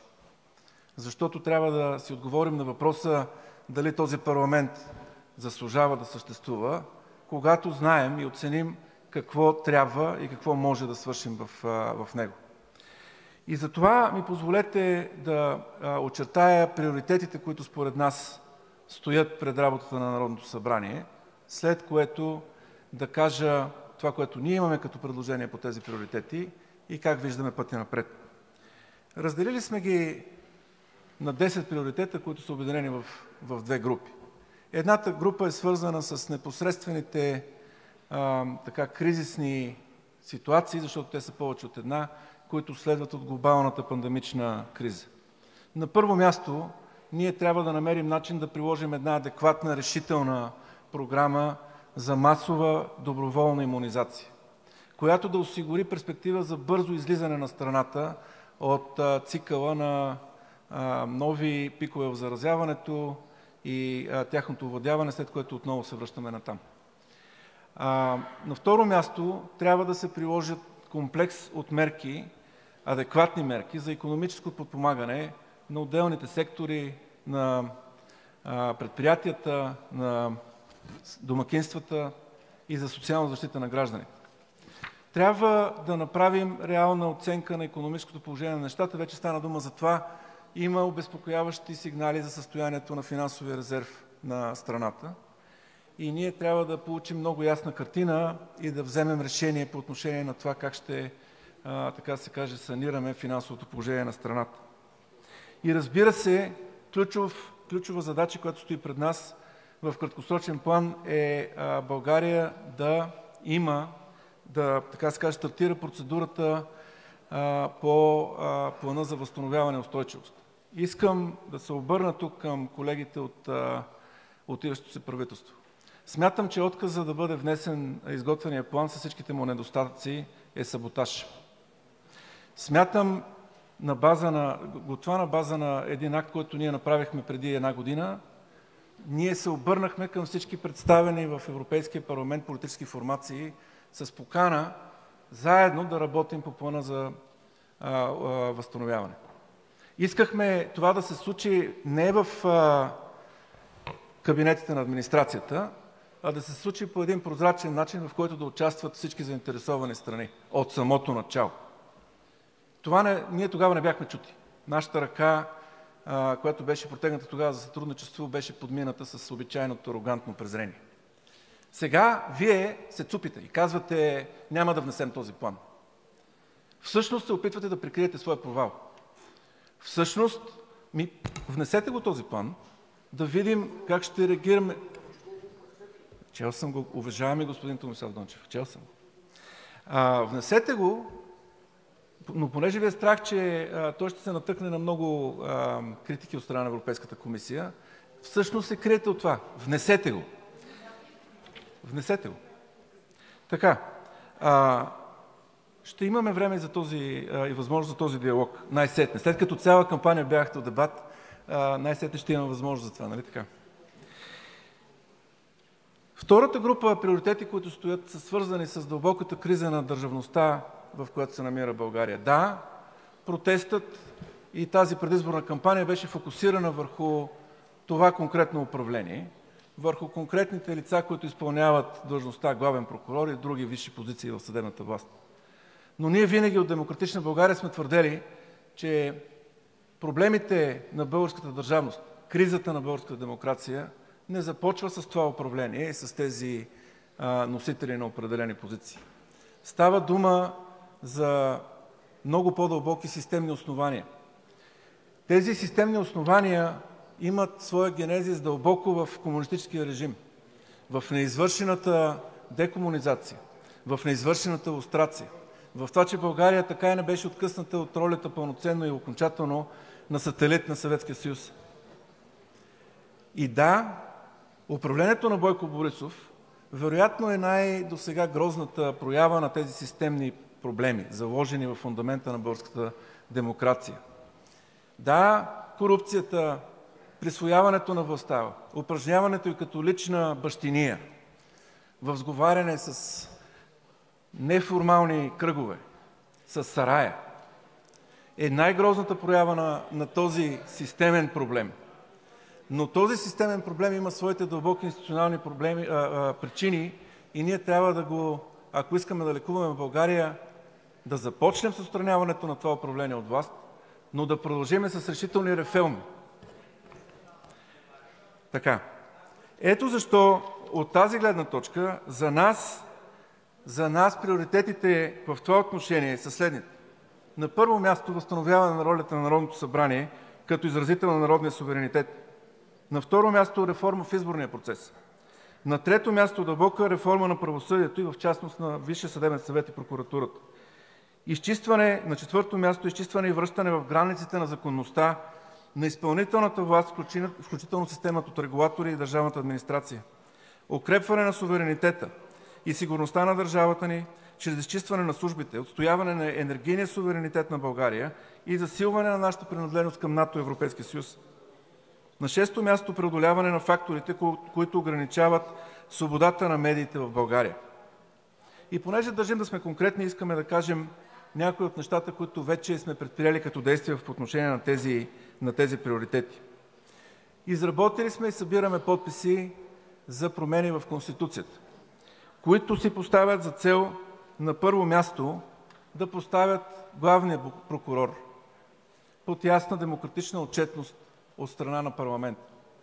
Не може повече да има център на власт в републиката, който не подлежи на демократична отчетност. Това положение трябва да бъде прекратено. Последния път, когато говорих от тази трибуна, аз си подадах оставката и казах това: България се установява прокурорска република.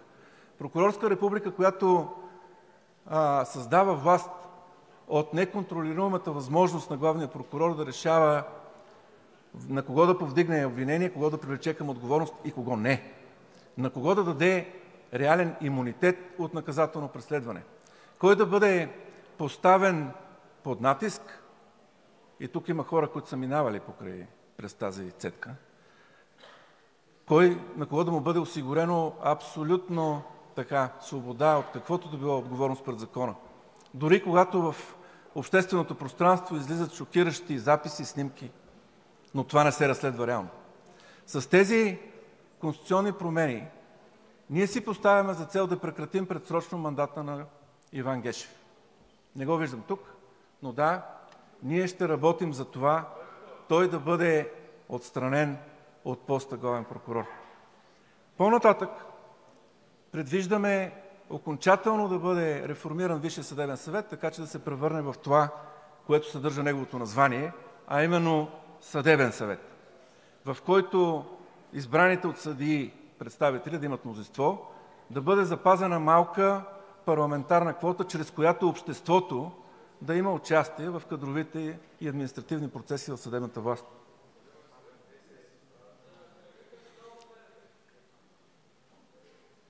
По-нататък считаме, че трябва да бъде въведена пряка конституционна жалба.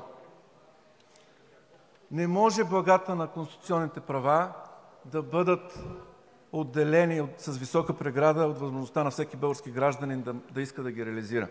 И не може съображенията за, за административния капацитет и ресурс на Конституционния съд да бъдат противопоставени на такава цел. Създаваме и конституционно основание за така необходимата лустрация в България. Лустрация, която се вижда, че повечето политически сили не са готови да направят дори в рамките на собствените си листи. Лустрация, която изобщо не бива да спира само до онези, които са им били причастни към дейността на тоталитарни режими, неговите репресивни органи, но трябва да обхване и хора, които в момента са активни в службите, в различни политически а, и обществени институции, така че да изчистим и онази шлака от криминалния преход, която се натрупа през 90-те години и по-нататък. По-нататък внесли сме пакет от изменения, те днес са внесени в деловодството, в Закона за съдебната власт и наказателно-процесуалния кодекс, с които, между други а, предложения, се закриват специализираните съдилища и специализираната прокуратура. Тези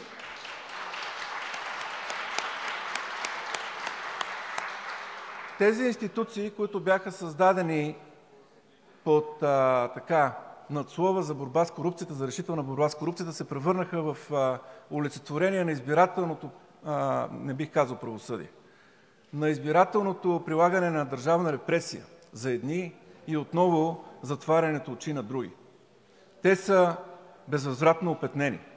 Не, нашето предложение не предполага лицата, които в момента са привлечени към отговорност от тези институции, да получат имунитет. Те просто ще отговарят за това, което са направили по закон пред конвенционалните органи на българското правосъдие, така както всеки друг гражданин. И ще понесат отговорност, ако има за какво, доколкото успеем да създадем наистина една реформирана прокуратура, един изчистен от корупцията съд и това зависи от всички нас.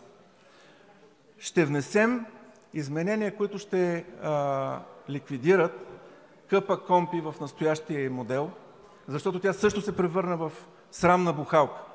И да, това ще доведе до освобождаването от длъжност на господин Сотир Цацаров. По-натам внасяме днес изменения, пакет от изменения в Изборния кодекс на база на дългосрочните усилия на демократична България за поредица от решения, които да направят изборния процес по-прозрачен, по-достъпен за участие на всички чада на България, които искат да участват в, в решаването на българската съдба и, а, и които в крайна сметка да, да послужат за това българския изборен процес да произвежда повече доверие, отколкото дори ние днес, днес на първия ден на този парламент всъщност можем да имаме. В тези, а, в тези изменения ние предвиждаме, разбира се, видеонаблюдение, разбира се, въвеждане на дистанционно гласуване, създаване на район чужбина, примахване на ненужните ограничения за секциите в чужбина и така нататък. По-нататък имаме предложения, свързани с електронното управление и реформата на администрацията и така нататък. Няколко думи за политическата перспектива. Ние ще оценяваме годността на този парламент да произведе действие от гледна точка на подкрепата, която има в него за тези приоритети. Разбира се, готови сме да подкрепим предложения по отношение на тези приоритети и на други колеги. А, изборите бяха проведени и а, дадаха, избор, дадаха, така да се каже, знак, че българските граждани искат а, промяна. Демократична България се яви на тези избори с искане да получи мандат за управление от гражданите. Направихме го, защото имаме амбициозна програма, защото имаме експертен капацитет и защото имаме политическа формация, която може да понесе политическата отговорност и тежест на управлението. Избирателите обаче решиха друго. И ние уважаваме този вот и разбираме неговите причини. Избирателите, мнозинството от избирателите, които поискаха промяна, избраха да възложат реализирането на тази промяна на „Има такъв народ“, които са втори. От тази гледна точка ние считаме, че е легитимно, ако бъде поискана наша подкрепа, да влезем с уважение и конструктивизъм в разговор за това какво управление би могло да бъде излъчено с мандата на „Има такъв народ“. Разбира се, не става дума за банкетна подкрепа, разбира се, става дума за разговор за политики. Но ние смятаме, че това е хода, който а, дава някаква възможност да се излъчи управление тук. Разбира се, ние ще се придържаме към ангажиментите, които сме поели, и трябва ясно да кажа, по никакъв начин не бихме подкрепили управление на ГЕРБ а, и техен кабинет. Ако „Има такъв народ“ не успее да излъчи или не пожелае да излъчи кабинет със своя мандат, ние сме готови да обсъждаме и други а, действия, които да осигурят достатъчно време на този парламент да, предприеме, да, приеме, да приеме най-необходимите действия преди да се стигне до избори. Нас не ни е страх от предсрочни избори. Смятаме, че това е нормална част от демократичния процес и в това няма нищо драматично или нищо страшно, но въпреки това смятаме, че трябва да опитаме да работим за тези приоритети, които тук що очертах. Искам да Ви пожелая успех на всеки един от Вас и да си пожелаем все пак да успеем да този парламент да даде плод, защото това е най-важното и защото България може много повече. Благодаря Ви.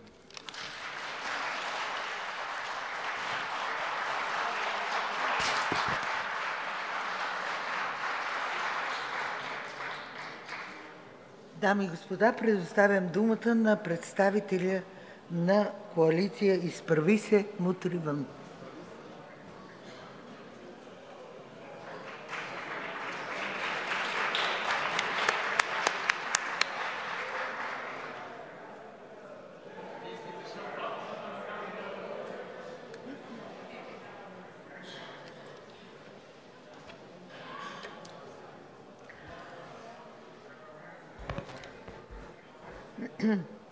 Уважаема, гос...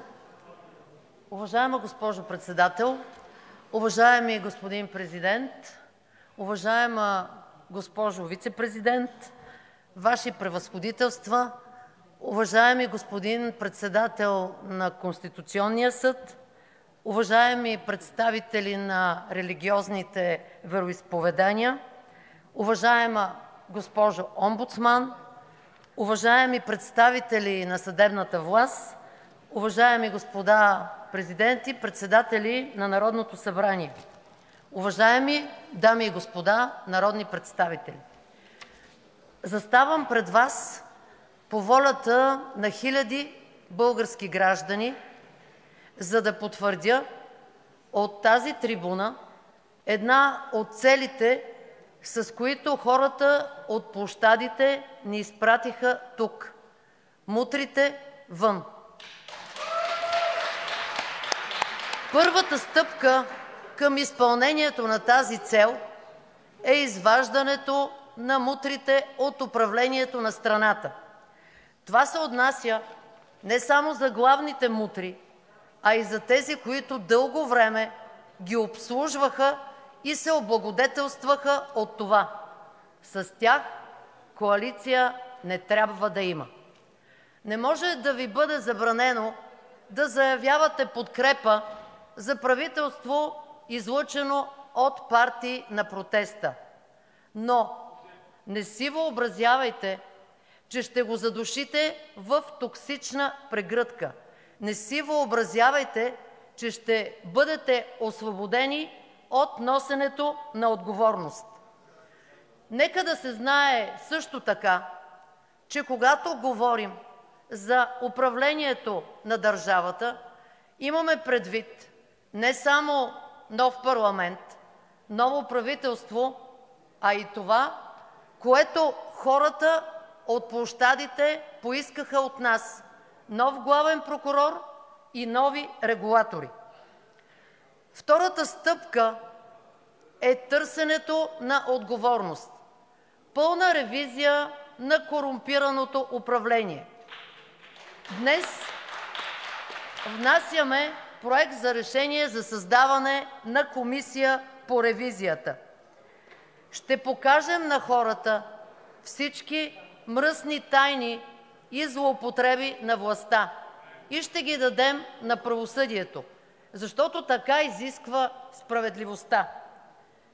Третата стъпка е да променим правилата така, че повече в бъдеще мутренско управление да не бъде възможно.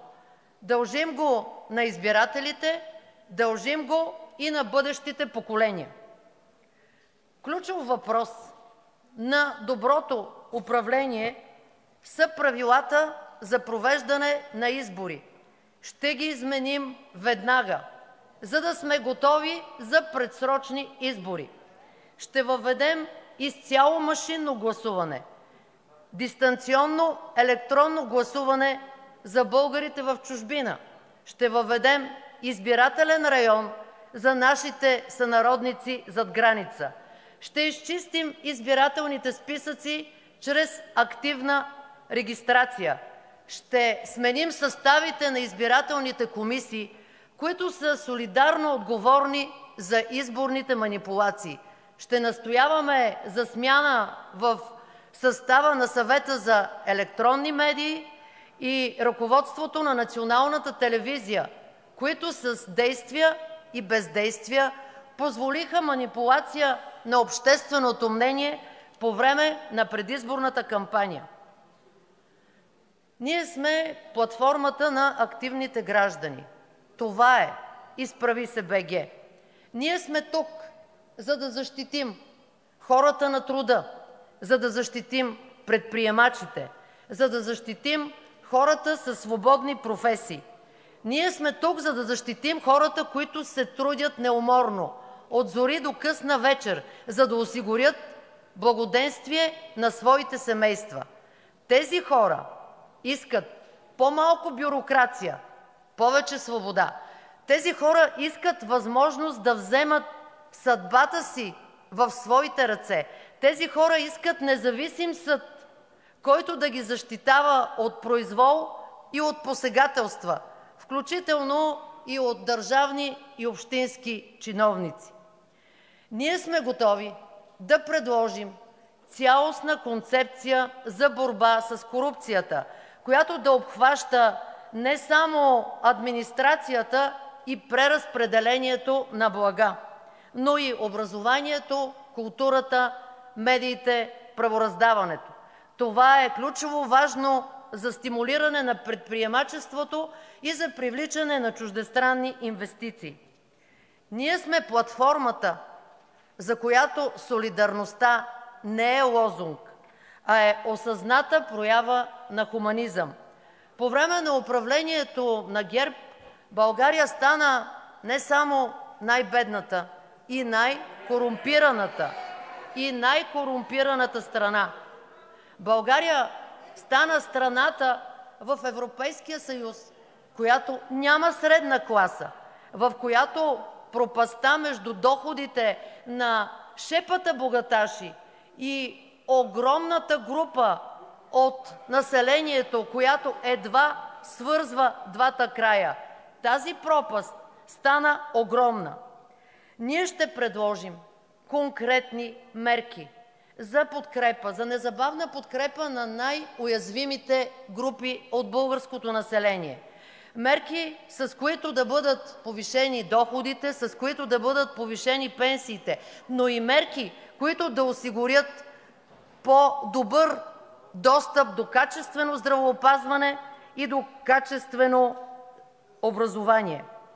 Още още днес ще внесем промени в Закона за личната помощ, ще настояваме да бъдат възстановени текстовете в този закон, защото целта е достойна подкрепа за хората с увреждания. Те го заслужават, те го извоюваха с многомесечни протести. Ще защитим гражданите от силните на деня. Още утре внасяме Закона за колекторите и Закона за частния фалит. Ние сме платформа, за която членството в Европейския съюз е ценностен избор. За нас задълбочаването на интеграцията с европейските и с атлантическите структури е въпрос на патриотизъм и въпрос на защита на нашия национален интерес. Време е България да престане да бъде снишена, а да се изправи за равностойно партньорство с другите държави от европейското семейство. Ще настояваме за незабавно публикуване на Плана за възстановяване и устойчивост. Ще настояваме и вече сме внесли искане за изслушване на премиера Борисов за Плана за възстановяване и устойчивост. Ще настояваме той да бъде обсъден от българския парламент и своевременно да бъде внесен в европейските институции. Катастрофалното управление на корона кризата ни направи първи по смъртност. Заради лошото управление на здравната криза загубихме много човешки животи, които можеха да бъдат спасени. Последни сме по вакцинация. Малкият и средният бизнес нямат никаква подкрепа от българската държава. Това не търпи и ден отлагане. Ще предложим нов ваксинационен план, в който приоритет да имат възрастните и болните. Ще настояваме за експертно управление на здравната криза. Ще предложим още утре през промени в Закона за извънредното положение пряка финансова подкрепа за засегнатите от кризата предприятия, самоосигуряващи се лица, домакинства и пенсионери.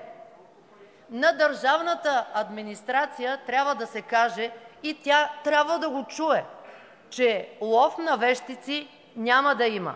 Почтените професионалисти трябва да могат да се развиват единствено въз основа на своите качества. Партийните калинки си ги вземете с Вас. Дами и господа, от днес България вече е друга. Независимо дали ще има ново правителство, или ще има служебно такова и нови избори, ние сме готови. България се изправи и показа вратата на мутрите. Промяната е необратима, защото е в душите на хората и тя не се влияе от някакви процедури. Днес започваме с една много важна стъпка – връщаме достойнството на Народното събрание, връщаме парламента в неговия исторически дом.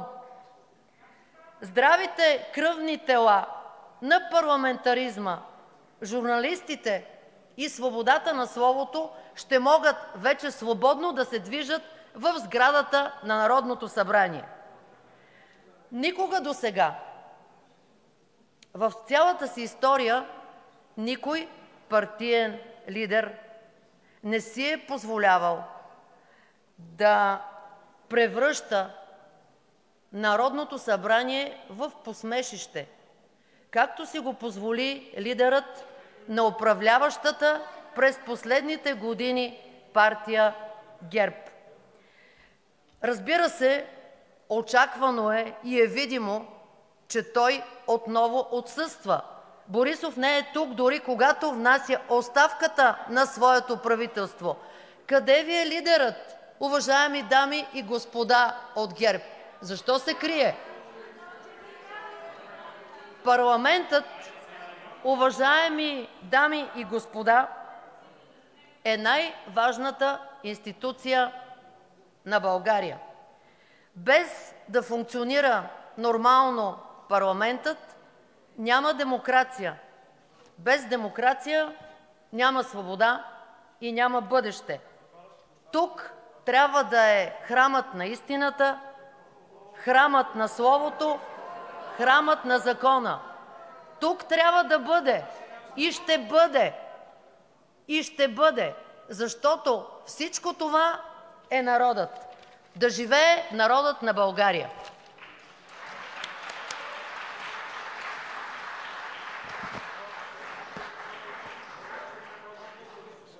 Уважаеми дами и господа депутати,